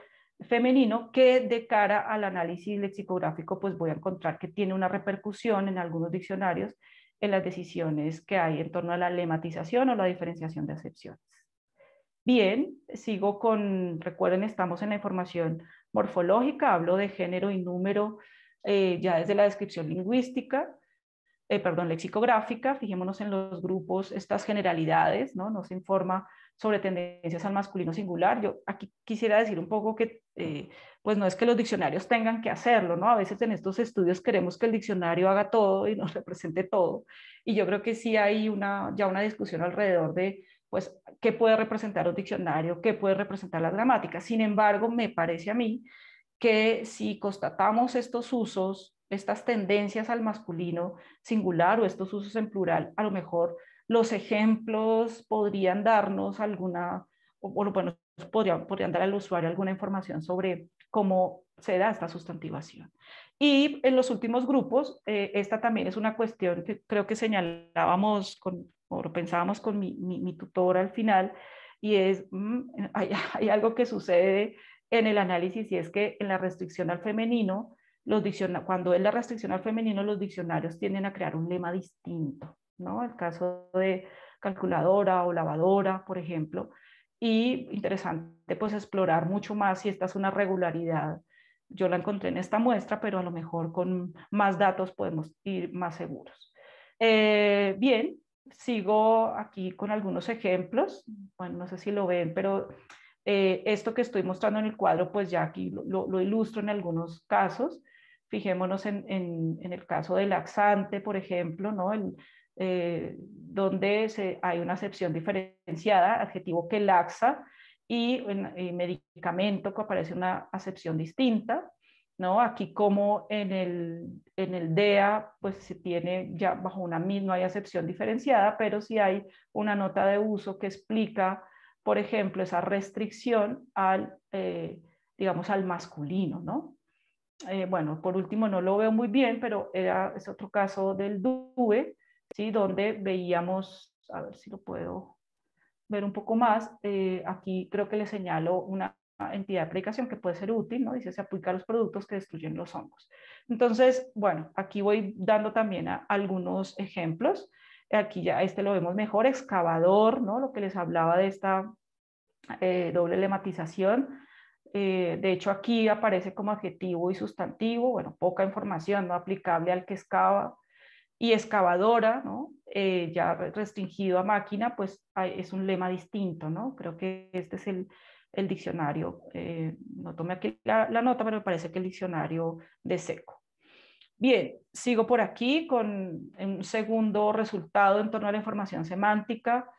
Em, les decía al principio una dificultad y es establecer con certeza si el cambio de entidad de predicación implica un cambio de, digamos, de, sentido o si tenemos que entrar a, mirar más bien que se trata de usos metonímicos, ¿no? Esto, esto, fue una dificultad, digamos, un poco desde la descripción, pero volviendo a los datos, pues se constata en este sentido que eh, pues el, uso adjetivo pues cobra, ¿no? Tiene muchos más sentidos que el uso como, como sustantivo, pero la sustantivación se da, ¿no? en el caso de los grupos 1 y 2, en ese sentido referido a persona y no en otros, por ejemplo. Eh, esto, pues digamos que también se, se, observa desde, como lo he mencionado, la diferenciación o no de acepciones, ¿no? Eh, una cuestión a futuro es ver esa ordenación de acepciones hasta qué punto está representando esos usos metonímicos, es decir, un núcleo semántico que a lo mejor encontramos distintas em, entidades de predicación, pero hay un sentido, digamos, nuclear o básico que permitiría pensar en esa ordenación. Y luego las entidades de predicación, como lo había indicado, eh, uno de los resultados es que los, eh, digamos, los recursos son, son pocos, pocas veces se informa explícitamente sobre las entidades de predicación y los referentes. Aquí rápidamente voy a mostrar, es mi última vuelta al Word, eh, algunos, un ejemplo de cómo se recogían lo que yo tracé, pero creo que es algo que toca profundizar mucho más desde la noción de la metonimia y la metáfora conceptuales. Eh, adulto, por ejemplo, ¿no? en, en, la información semántica eh, que se recogía desde, desde el corpus, ¿no? como, como adjetivo, fíjense, predica sobre cinco unidades, cinco entidades, ¿no? partes del cuerpo, animal, objeto, evento, situación. Yo creo que estas clases, eh, digamos, semánticas podrían afinarse mucho más con otros tuviéramos otras fuentes y, muestras mucho más representativas. Y, solo insistir en que eh, esta diferencia cuantitativa pues nos habla de una mayor, comillas, polisemia del adjetivo eh, y la restricción que se hace a nivel semántico para una de sus entidades. ¿no? En el caso, este es un ejemplo, se hizo para todos los grupos de, eh, de los, el grupo 1 de descripción física. Bien, Muestro por aquí algunos ejemplos también, amplio acá que se me olvida, em, ejemplos eh, que ilustraré a la luz de estas conclusiones de la información semántica. Ya lo he dicho, las unidades léxicas suelen, eh, o de análisis, presentar más sentidos cuando son adjetivos que cuando son sustantivos. Gordo se aplica a persona gruesa, se aplica a parte del cuerpo, a cosas, situación grave. Un poco lo que yo les decía sobre, sobre esos valores numéricos que me daba a mí cuando en un sentido amplio el CORPES en, la extracción automática me mostraba una mayor frecuencia de uso, digamos, eh, inicial, ¿no? De, algunas de estas unidades. Pero fíjense que gordo solo es sustantiva, eh, en este caso a, persona, ¿no? Referido a persona gruesa. Segunda conclusión, em, vuelvo a mi idea de explorar mucho más ese continuum semántico de los adjetivos, ¿no? Y examinar en ese continuum semántico cuál sentido es el que se recategoriza y por qué y qué lo motiva. en el caso de calmante se aplica a sustancia o medicamento, a propiedad calmante, efecto calmante que lo encontraba en corpus, pero la recategorización se da solamente a esa restricción, digamos, del medicamento. Y por último, el inalámbrico, ¿cierto? Se encuentra también como adjetivo referido a dispositivo objeto, red inalámbrica, a la comunicación sin cables, ¿no? como entidad de predicación, pero la eh, recategorización se da referida al dispositivo como tal. ¿no? Aquí también vale la pena mencionar, que no lo dije antes, interesante esos casos de lisiones, ¿no? Eh, digamos, que se dan y que, podrían explicar en, una línea de tiempo de alguna manera, eh, o podría ser ¿no? también una motivación esos adjetivos que se recategorizan en sustantivos. Estas conclusiones semánticas, insisto, desde el plano de lo lingüístico, quedan abiertas y me parece que es algo en lo que hay que profundizar mucho más. Eh, aquí muestro eh, de manera concreta lo que puse antes en prosa. ¿no? Los grupos mostraron en su uso como adjetivo un mayor número, eh, digamos, por lo menos de, o, o, más bien como adjetivos mayores usos, como sustantivos eh, veíamos, y creo que esto es muy importante, en los dos primeros grupos referidos a personas una restricción, un paso de predicación a clase, que también lo informan los estudios gramaticales, y eh, pues si nos fijamos aquí dentro de todas las entidades, pues se restringe a persona. En el caso de los grupos 3 y 4, ¿cierto? También vemos eh, un, digamos, más entidades de predicación, ¿no? A, distintas a sustancias o productos. Aquí es muy interesante pensar un poco en los efectos, ¿no? que le señalaba ahora en los, ejemplos, o en las propiedades, pero eh, a diferencia, digamos, de los grupos 1 y 2, aquí se da un cambio digamos, de, en el uso del paso del adjetivo a sustantivo, un cambio de entidad, ¿no? Fundamental, una restricción, yo la denomino especialización semántica a sustancia o producto, ¿no? El eh, antibiótico y en este caso, por ejemplo, fertilizante, ¿no? Como o no, aquí, eh, fertilizante y, antibiótico como grupo 3, y el grupo 4, ¿no? Creo que citaba ahora inalámbrico o triturador, trituradora, ¿no? Que se restringe básicamente al aparato o dispositivo en este caso.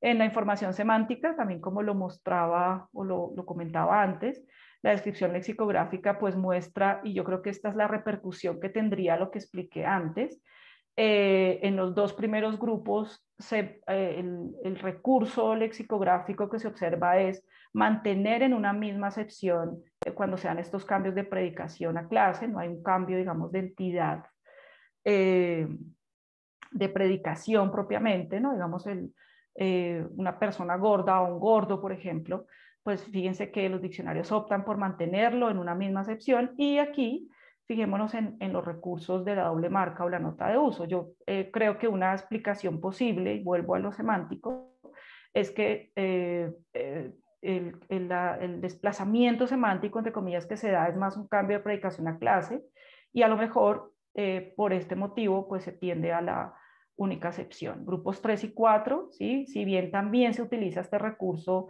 que a mi modo de ver es aglutinante, eh, pues se observan también o se observaron estos recursos de acepción diferenciada, ¿no? Fijémonos en que, creo yo, las repercusiones lexicográficas, si las miramos en detalle, pues tienen que ver con estas, eh, digamos, realidades semánticas, ¿no? Que pueden ser ilustrativas a la hora de tomar decisiones.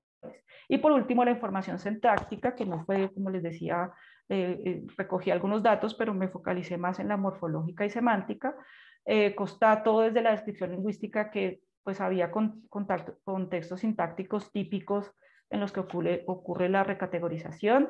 En todo caso, decir, porque fue más del trabajo detrás, ¿no? Eh, en el corpus me encontraba con que debía vigilar muy bien que no, no, me encontrara con un caso donde la unidad léxica estuviera funcionando como adjetivo y no como sustantivo, ¿no? Mirar un poco el tema del referente, que no fuera lo que se denomina una falsa sustantivación. En los grupos de persona, eh, pues descubro, yo creo que esto también hay que mirarlo más en detalle, que en su mayoría son adjetivos calificativos.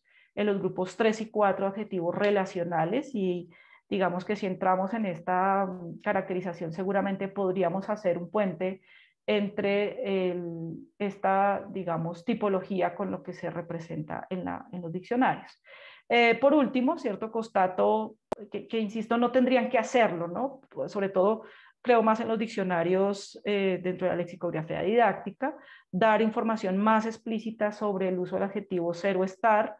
Eh, ojalá se pudiera explotar más la ejemplificación para dar cuenta de la doble identidad categorial como adjetivo y sustantivo, ¿no? desde esa información semántica que yo creo que se, o sintáctica en este caso, que se puede recoger del ejemplo. ¿No? Como un recurso útil. Y por último, ya para culminar, pues voy a dar a la luz de estos, de estos casos, ¿no? de estos ejemplos, de estas generalidades más bien, eh, de estos hallazgos, pues algunos criterios de representación. Eh, hablo de un criterio uno, ¿cierto? Derivado del análisis principalmente de esos dos primeros grupos referidos a persona, eh, esto que vemos aquí es lo que, mm, puse un ejemplo de lo que se suele encontrar, ¿cierto? Esta eh, información sobre la doble identidad categorial, el tipo de definición, la ausencia de entidades de predicación y demás. Y la propuesta sería en estos casos referidos a persona, tanto en descripción física como en comportamientos, si se optara por aglutinar esta información, eh, intentar mm, pues dar explícitamente esa entidad de predicación y referente, hacerlo explícito, eh, donde se da o, donde podemos eh, ver estos usos como adjetivo y sustantivo, ¿no? si optáramos por la doble marca y por este uso, digamos, aglutinante.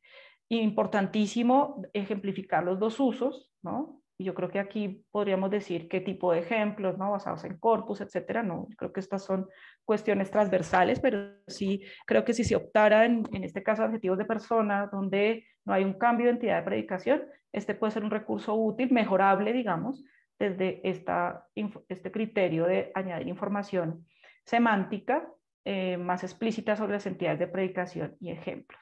Miremos un criterio 2 también eh, derivado de estos recursos lexicográficos en acepciones que eh, podrían o, que se decida dejar bajo una misma, o, o, los usos más bien representados en una misma acepción, importante ¿cierto? Dar cuenta de esas entidades de predicación del adjetivo, pero también hacer explícita esa información de cuál de esas entidades de predicación en cuáles se restringe el uso como sustantivo. Fijémonos en esta posibilidad, ¿no? Mejorable, por supuesto, eh, pero que daría cuenta de esta información semántica y de los ejemplos que hay, ¿no? Em, yo creo que también un dato interesante, porque sé que el principio de economía lingüística o economía representación prima en los diccionarios, es que si bien utilizamos abreviaturas, eh, insisto en que el trabajo del ejemplo y de las entidades de predicación puede aclarar ¿no? y mostrar información más explícita. Criterio 3, un criterio interesante que me gusta, pero que hay que ver desde la economía misma del diccionario, y mm, es poder representar esta información en acepciones diferenciadas, principalmente como lo encontré en los dos últimos grupos, eh, por supuesto conjugando con otros valores o informaciones como las entidades, los ejemplos, eh, pero yo creo que esta contigüidad eh, resulta a lo mejor muy informativa, ¿no? Estamos hablando de un desplazamiento semántico, de un cambio de entidad de predicación, que, que esa especialización semántica podría darse de manera más diferenciada. Y un último criterio que yo creo que es para pensarlo un poco, ¿no? Eh, que lo encontré sobre todo en Moliner, es ah, eh, poder aprovechar, eh, digamos, unas subacepciones, ¿no? Yo creo que el, esa, vuelvo al tema muy clásico de cómo ordenar las acepciones, ¿no? De con qué criterio. Yo creo que en este caso muy particular, interesante mirar que la subacepción sobre todo eh, en estos casos en los que no podemos ir muy seguros en si hay o no completamente un cambio de, significado, de sentido, eh, podría ser útil en la representación lexicográfica. Sin embargo, ¿no? creo que aquí pues sería interesante recuperar también que se hagan explícitas las entidades, ¿no? los ejemplos, etcétera, etcétera, de estos usos como adjetivo y sustantivo.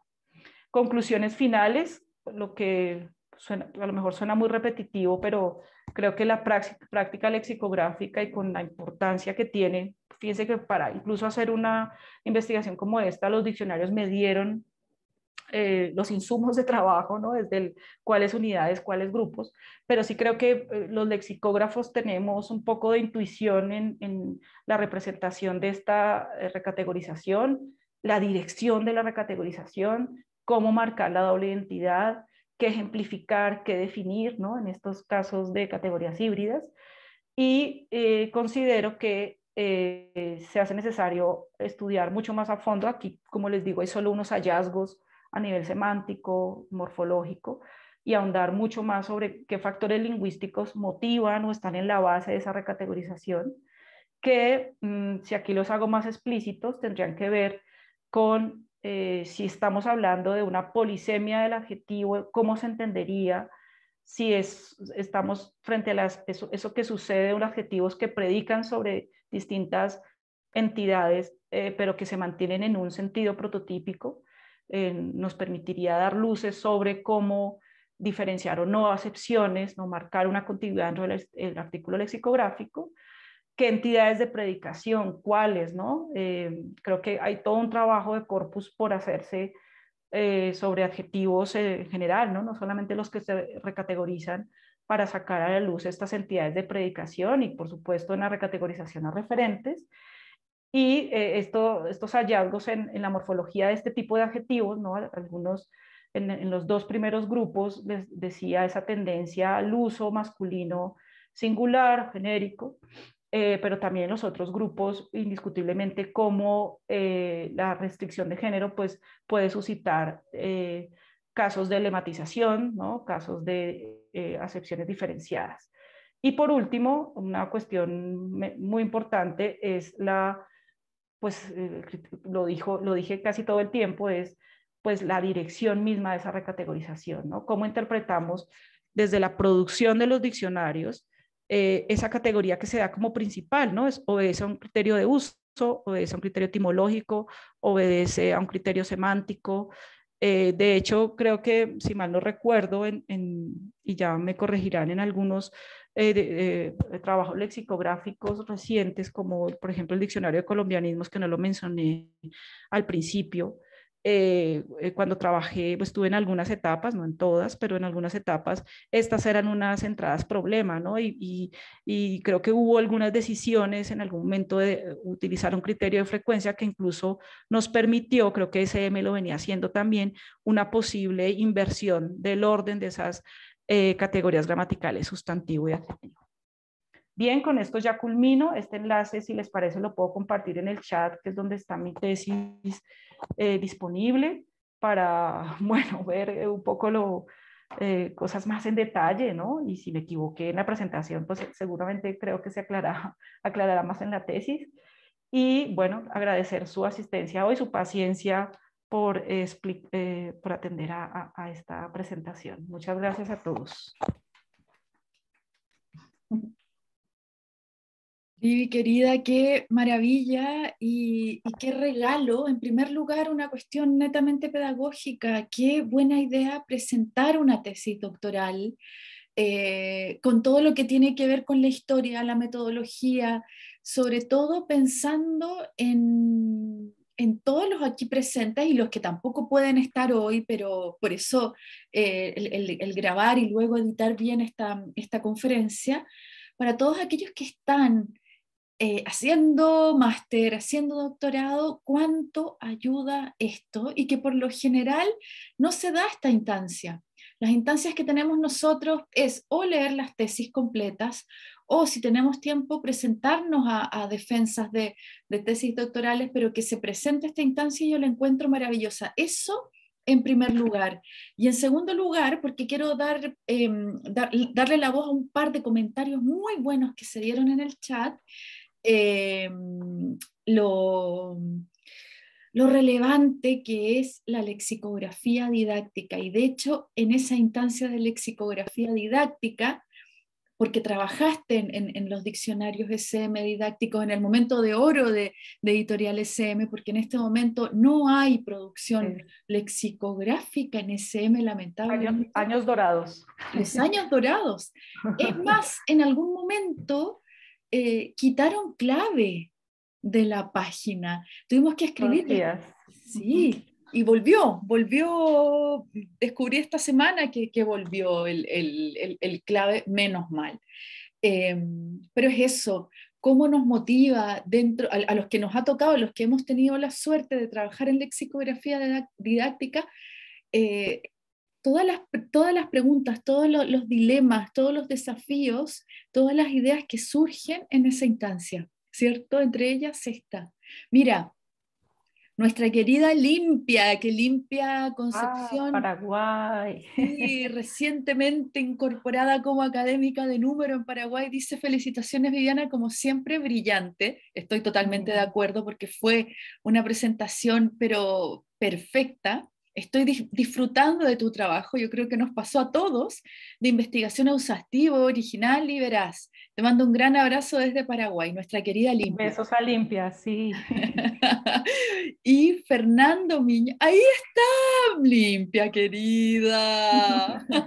limpia querida. Siempre, recordada, siempre recordada. Tiene que haber un, congreso en Cartagena, tiene que haber o en Bogotá. Ah, sí, eh, bueno, un gusto. Eh, estoy muy feliz, muy contenta. Felicitaciones también para, para eh, la Sol, la bella Sol, la que siempre le llamé así, por esta excelente gestión y bueno, disfruté muchísimo. Eh, me conecté un poco tarde porque estaba haciendo algunas gestiones y me quedé con el motor prendido y el aire en un estacionamiento para poder escucharte, Viviana. Ahora sí está el motor en marcha, ya estoy camino a mi casa, pero voy a seguir escuchándolos. Felicitaciones, un gran abrazo. Limpia. ojalá podamos encontrarnos en Perú el año que viene. Sí, seguro, ya que el 2022 podamos reencontrarnos, ¿no? Todos estamos como muy ansiosos a, que llegue el 2022, congresos, encuentros. Seguro que sí, limpia. Mil gracias. Un beso. Bueno, un abrazo para, para Sol y para ti y nos veremos oportunamente. Muchísimas gracias. Chao, chao. Qué lindo irla y verla, limpia, siempre querida. Mira, tenemos otro académico de número, también recientemente incorporado en Ecuador, Fernando Miño Garcés, que se tuvo que retirar, y él es el ideólogo, el autor, el cerebro del, último diccionario diferencial del, del, español del Ecuador, y dice, felicitaciones Viviana, buen trabajo, qué pena que tengo que retirarme, pero ahí te lo... Te lo gracias. Sí. Mira, Eric Franco te pregunta, muy buen trabajo, tengo una pregunta, ¿tiene alguna relevancia la estructura morfológica de aquellas palabras de tu muestra que son complejas?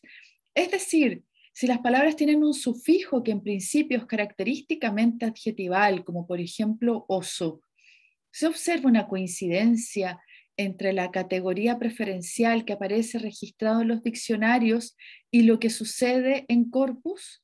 O más bien depende de cada palabra en particular? Buena pregunta, porque yo creo que es un desafío, ¿no?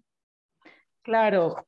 Bueno, digamos que yo no hice una, un criterio para seleccionar la muestra, hubiera podido ser desde la morfología misma derivativa, ¿no? Es decir, seleccionar, por ejemplo, en, en productos, ¿no? Eh, aceitoso eh, o adjetivos de este tipo, donde el criterio, digamos, desde la morfología derivativa hubiera podido interesarme, ¿no?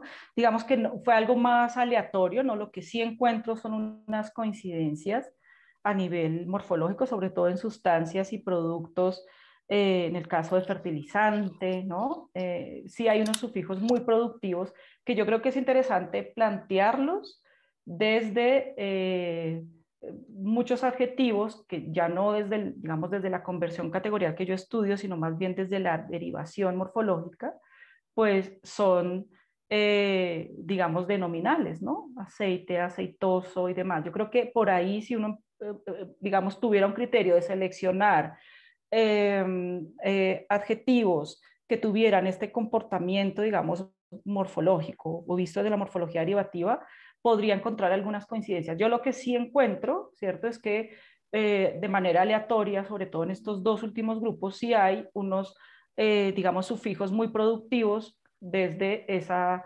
eh, digamos, paso, también ya visto desde la, desde la derivación de muchos sustantivos, adjetivos, desde la configuración de nuevas formas, ¿no? Aceite, aceitoso, por ejemplo. Y creo que mm, yo no sé si tenga incidencia en la decisión que se toma lexicográficamente, porque mi intuición es que es un criterio eh, mucho más etimológico. Pareciera como empezamos a ver este uso adjetivo en los primeros diccionarios y lo rastreamos en los que siguen, ¿no? Em, pero sí, yo creo que, que será interesante tener un criterio de selección desde la morfología derivativa y ver si esto nos presenta unas coincidencias, digamos, desde el corpus y desde los diccionarios desde una, posible muestra, desde criterios mucho más estrechos desde lo morfológico. Estupendo. Mira, Iván Ramírez, y hay algunas manos levantadas también. Al respecto de las marcas correspondientes a las categorías gramaticales, es interesante destacar el criterio de agrupación que tienen tanto el DLE como otros diccionarios generales. No resulta una solución sencilla el aclarar que el sentido o la aceptación Posee ese doble valor como adjetivo y como nombre, sobre todo teniendo en consideración la posterior agrupación de los ejemplos. Fantástica comunicación. Muchas gracias. Sí, creo que las eh, agrupaciones también obedecen a criterios, o sea, insisto en que yo creo que podría ser muy raro que encontráramos dentro de una entrada eh, pensémoslo un poco desde los usuarios, ¿no? Ah, primero sustantivo y luego adjetivo. De hecho, un rastreo que uno hace con los filtros en la 22 segunda edición, que miré un poco explorando la segunda vía, eh, digamos de sustantivo adjetivo, salían poquísimos casos y eran creo que nombres de caninos, ¿no? Etcétera.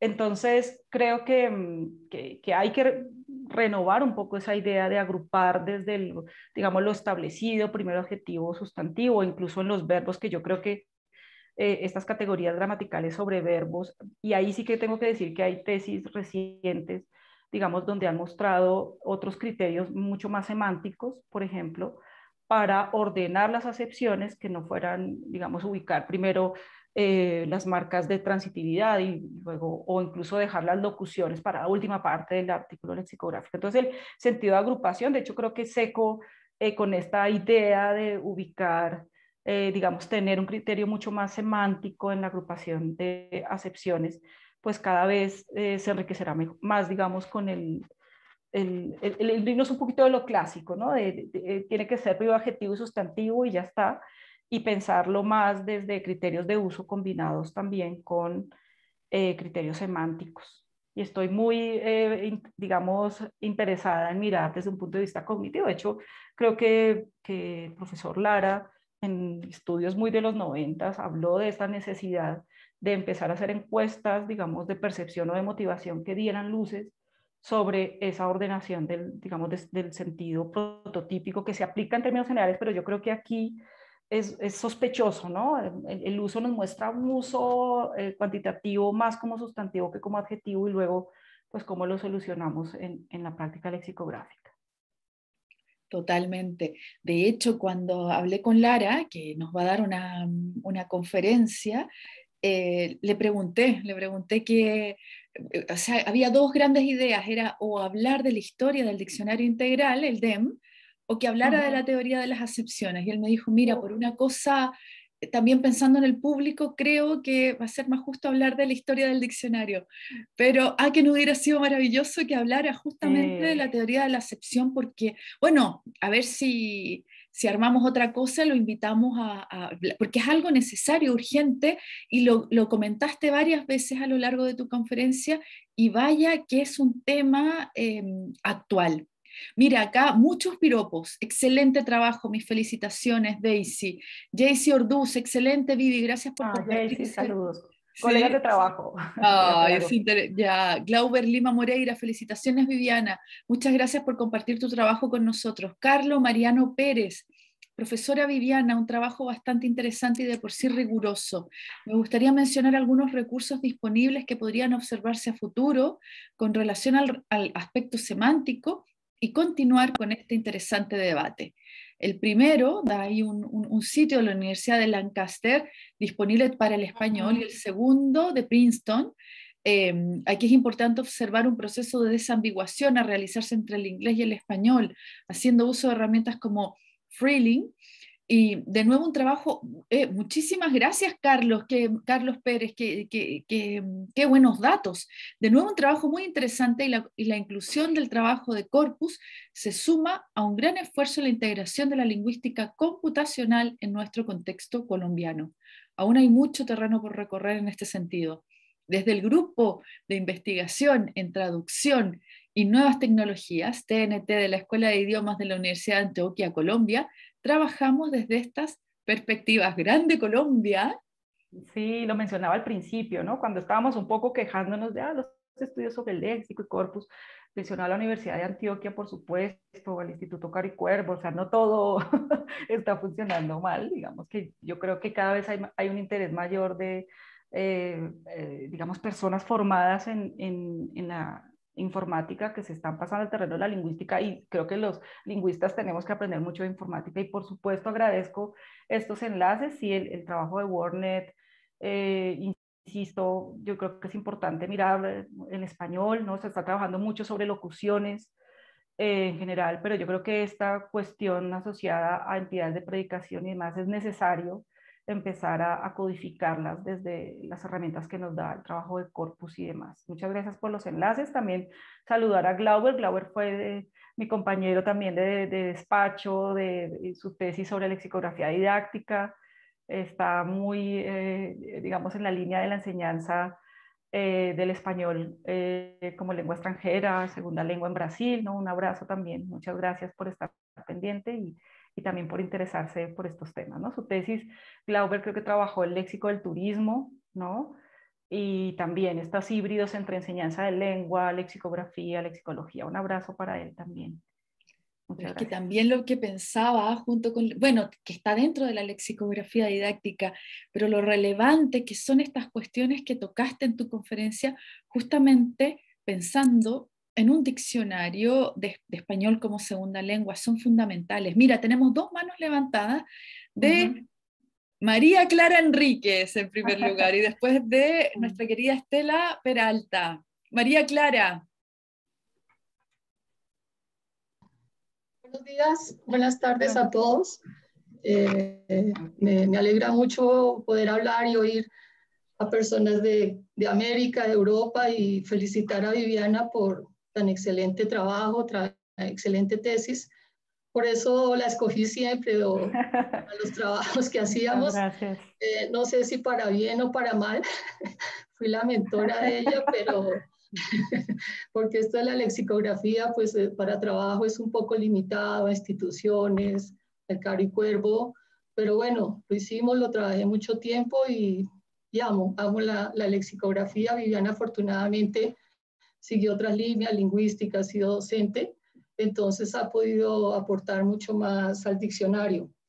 Eh, en cuanto a, la exposición, pues tendría unos apuntes que ya decía Viviana, no podemos pedirle todo a los diccionarios, ¿no? Sobre todo cuando ya están hechos y pues yo sé que muchos de ustedes habrán tenido que someterse a tiempo y a dinero. Si nos exigen diccionarios en dos, tres años, y, el, presupuesto muy bajo. Entonces, hay una limitante. No es porque no quiera la entidad, sino porque mucha gente no le ve sentido a este. Afortunadamente, el Instituto Caro y Cuervo nos, nos ha apoyado y pudimos realizar el último trabajo, el Diccionario de Colombianismos. Eh, y dijéramos la parte eh, informática que pudimos hacer fue usar el, programa TILEX, que eso para aquí ya era una, una cosa muy novedosa porque pues generalmente no, no se trabaja con esto, ya se está trabajando, como decía Viviana, en cuestiones computacionales, sobre todo en la Universidad de Antioquia. los diccionarios digitales creo que van a ayudar mucho a poder incluir todo lo que Viviana nota de, de las diferentes acepciones, los diferentes ejemplos, porque es una herramienta y yo creo que ya todo se piensa dirigido a eso, ¿no? por lo menos yo no, no consulto diccionarios en papel, excepto que no estén digitales. Y, y, bueno, los diccionarios escolares, que como decía la profesora Concepción, con quien también trabajamos con Viviana, eh, eh, son necesarios en cierta etapa. Y bueno, lo último que quería notar era, bueno, está, está uno metido un, un, poco en el campo de los americanismos y me llamaba la atención que la profesora investigadora de la, de la academia, Carmen Lozano, siempre le llamaba la atención el uso que hacemos en Colombia de querido, ¿sí? De querido como una persona amable. Sí, el querido en España es el, el amante o ese, eh, tiene otro sentido, ¿no? Entonces no sé hasta qué punto se pueda, se pueda mirar estos rasgos regionales en, en este trabajo. Y de nuevo, felicitaciones, Viviana. Muchas gracias. Yo, yo a María Clara, no le digo María Clara, sino profe. Ella es la profe en nuestro, círculo. Sí, profe, muchísimas gracias. Creo que el, eh, como lo decía al principio, es un espacio para, para, charlar, para los que estamos interesados, para hacer también visibles como los trabajos que, que se han hecho de este lado. Eh, mm, Soledad lo mencionó ahora, yo creo que una cosa que está pendiente es el clave Colombia, ¿no? Y clave Chile, no sé si, si se hizo en Chile, pero por ejemplo, creo que en esa línea de, diccionarios eh, que, que, los que trabajamos de lexicografía didáctica tenemos una deuda eh, con este clave pensado para Colombia. El diccionario de colombianismos también, ojalá lo conversábamos un poco, eh, pues se pudiera dar más adelante un espacio para que se pudiera hablar de este diccionario, ¿no? Digamos también porque se ha hablado, no sé si creo que fue en el primer seminario que, que propusiste, Sole, donde se hablaba de diccionarios digamos, eh, dialectales, ¿no? Más particulares, pero bueno, sí, por supuesto que es un, es un trabajo importante. Y a propósito de estos registros coloquiales, yo creo que la, la sustantivación, sobre todo eh, referida a persona, pues es muy productiva, ¿no? Justamente por lo que mencionaba ahora del, del, estereotipo, ¿no? Eh, donde se puede hacer un foco sobre una cualidad física o comportamental. Y también con el caso de querido, yo creo que mm, a propósito de la otra pregunta sobre algunas cuestiones morfológicas de estos adjetivos, por supuesto, está para mirarlo, eh, pues como muchos participios, ¿no? Son los que también se recategorizan. Em, y sí, y vuelvo a la, historia un poco del decolombianismo, lo que recuerdo, teníamos un diccionario que se hace con Tilex, un diccionario que se hace también consultando corpus, pero cuando llegábamos a estas que eh, eh, la profesora Concepción Maldonado llamaba las peliagudas, eh, un poco desde el trabajo lexicográfico, adjetivo y sustantivo, las dos, miremos un poco el criterio de uso y creo que ya estas inversiones, por ejemplo, en la marca, se, empezaron a dar. Algo que olvidé decir eh, a propósito de, de, la profesora Concepción Maldonado, investigadora, bueno, creo que todos lo conocemos, amiga, que estuvo también en mi defensa de tesis, me decía algo que, que quiero contarlo y es que cuando terminé la presentación me decía, no, pero es que esto que tú propusiste que hicimos, de hecho intentamos hacer muchos de estos o tomar estos criterios para el diccionario del estudiante. ¿sí? O sea que el trabajo es novedoso, pero yo creo que también esa preocupación y algunos eh, cambios se han visto en, en algunas prácticas. Eh, y bueno, y, siento también que eh, todo será más fácil de pedirle al diccionario si, si, si, empezamos a trabajar en diccionarios electrónicos, ¿no? que es ya otro tema importante donde estos, este principio de economía no nos frustra tanto ¿no? en las representaciones. Pero la, última intervención muchas veces tenía que escribirle o llamar a Viviana y decirle, Viviana, adjetivo o sustantivo. Yo, pues, la parte yo, contestaba, pues mi intuición me dice que... sí, trabajamos un poco por la intuición. Afortunadamente ya hay personas que se están especializando y, y en lexicografía hay que saber de todo, hasta de carpintería, para definiciones, pero, pero sí, me salvó muchas veces Viviana. Lo mejor y yo, yo, a la vez consultaba, ¿no? Porque no es así, ¿no? El bucle del corpus y la gramática y al tutor y por allí gente de España y amigos. Y creo que sí, ese, ese, esas comunidades que se forman entre el corpus, que hace poco un, un, amigo me decía, no sé si está conectado, un colega, me decía, es que el corpus al final que muestra, también hay como unos esquemas de pensamiento allí, ¿no? Eh, confiamos al corpus, claro, e, e, es, útil, yo, yo, siento que es útil y creo que aquí también hay, eh, según lo que veo en el chat, pues investigadores más versados en el tema, pero sí siento que hay una, hay, hay una puesta en común que hay, hay, que tener con otros criterios lingüísticos, ¿no? Desde la práctica lexicográfica. Totalmente. Estela, Hola Viviana. Hola, buenos días. Bien, felicitaciones. Creo que te veo después de cuatro años, más o menos. Mm. Eh, nos vimos en Santander. Eh, en el congreso. Sí, con Glauber y bueno. Con Glauber. Eh, una vuelta con Nancy, que, que, está faltando aquí, bueno. Sí, Pero sí, me, me, encantó el trabajo, ¿verdad? Que es súper lexicológico, minucioso, puntilloso. Y ahí también, o sea, no sé, si bien tu foco era, bueno, analizar esa recategorización, también te va mostrando una, una conducta y una práctica lexicográfica bastante importante. Y cuando decís, bueno, son las decisiones que uno toma y cuando te tocó hacer algún tipo de diccionario, son decisiones a veces que uno, bien, que en la teoría y en todo lo que uno maneja, que supuestamente se puede dar, se dan por otras razones, ¿verdad? Como decís, bueno, la economía podría ser un factor, la economía de, de, las páginas, del tamaño, de lo que uno pueda inserir en, ese, en esa información que pretende otorgar, pero al mismo tiempo también eh, hay otros condicionantes, ¿verdad? O cómo solucionamos, cómo zanjamos, eh, me pareció súper interesante y además eh, esta volcada que tenés hacia la población que estudia una lengua, ¿verdad?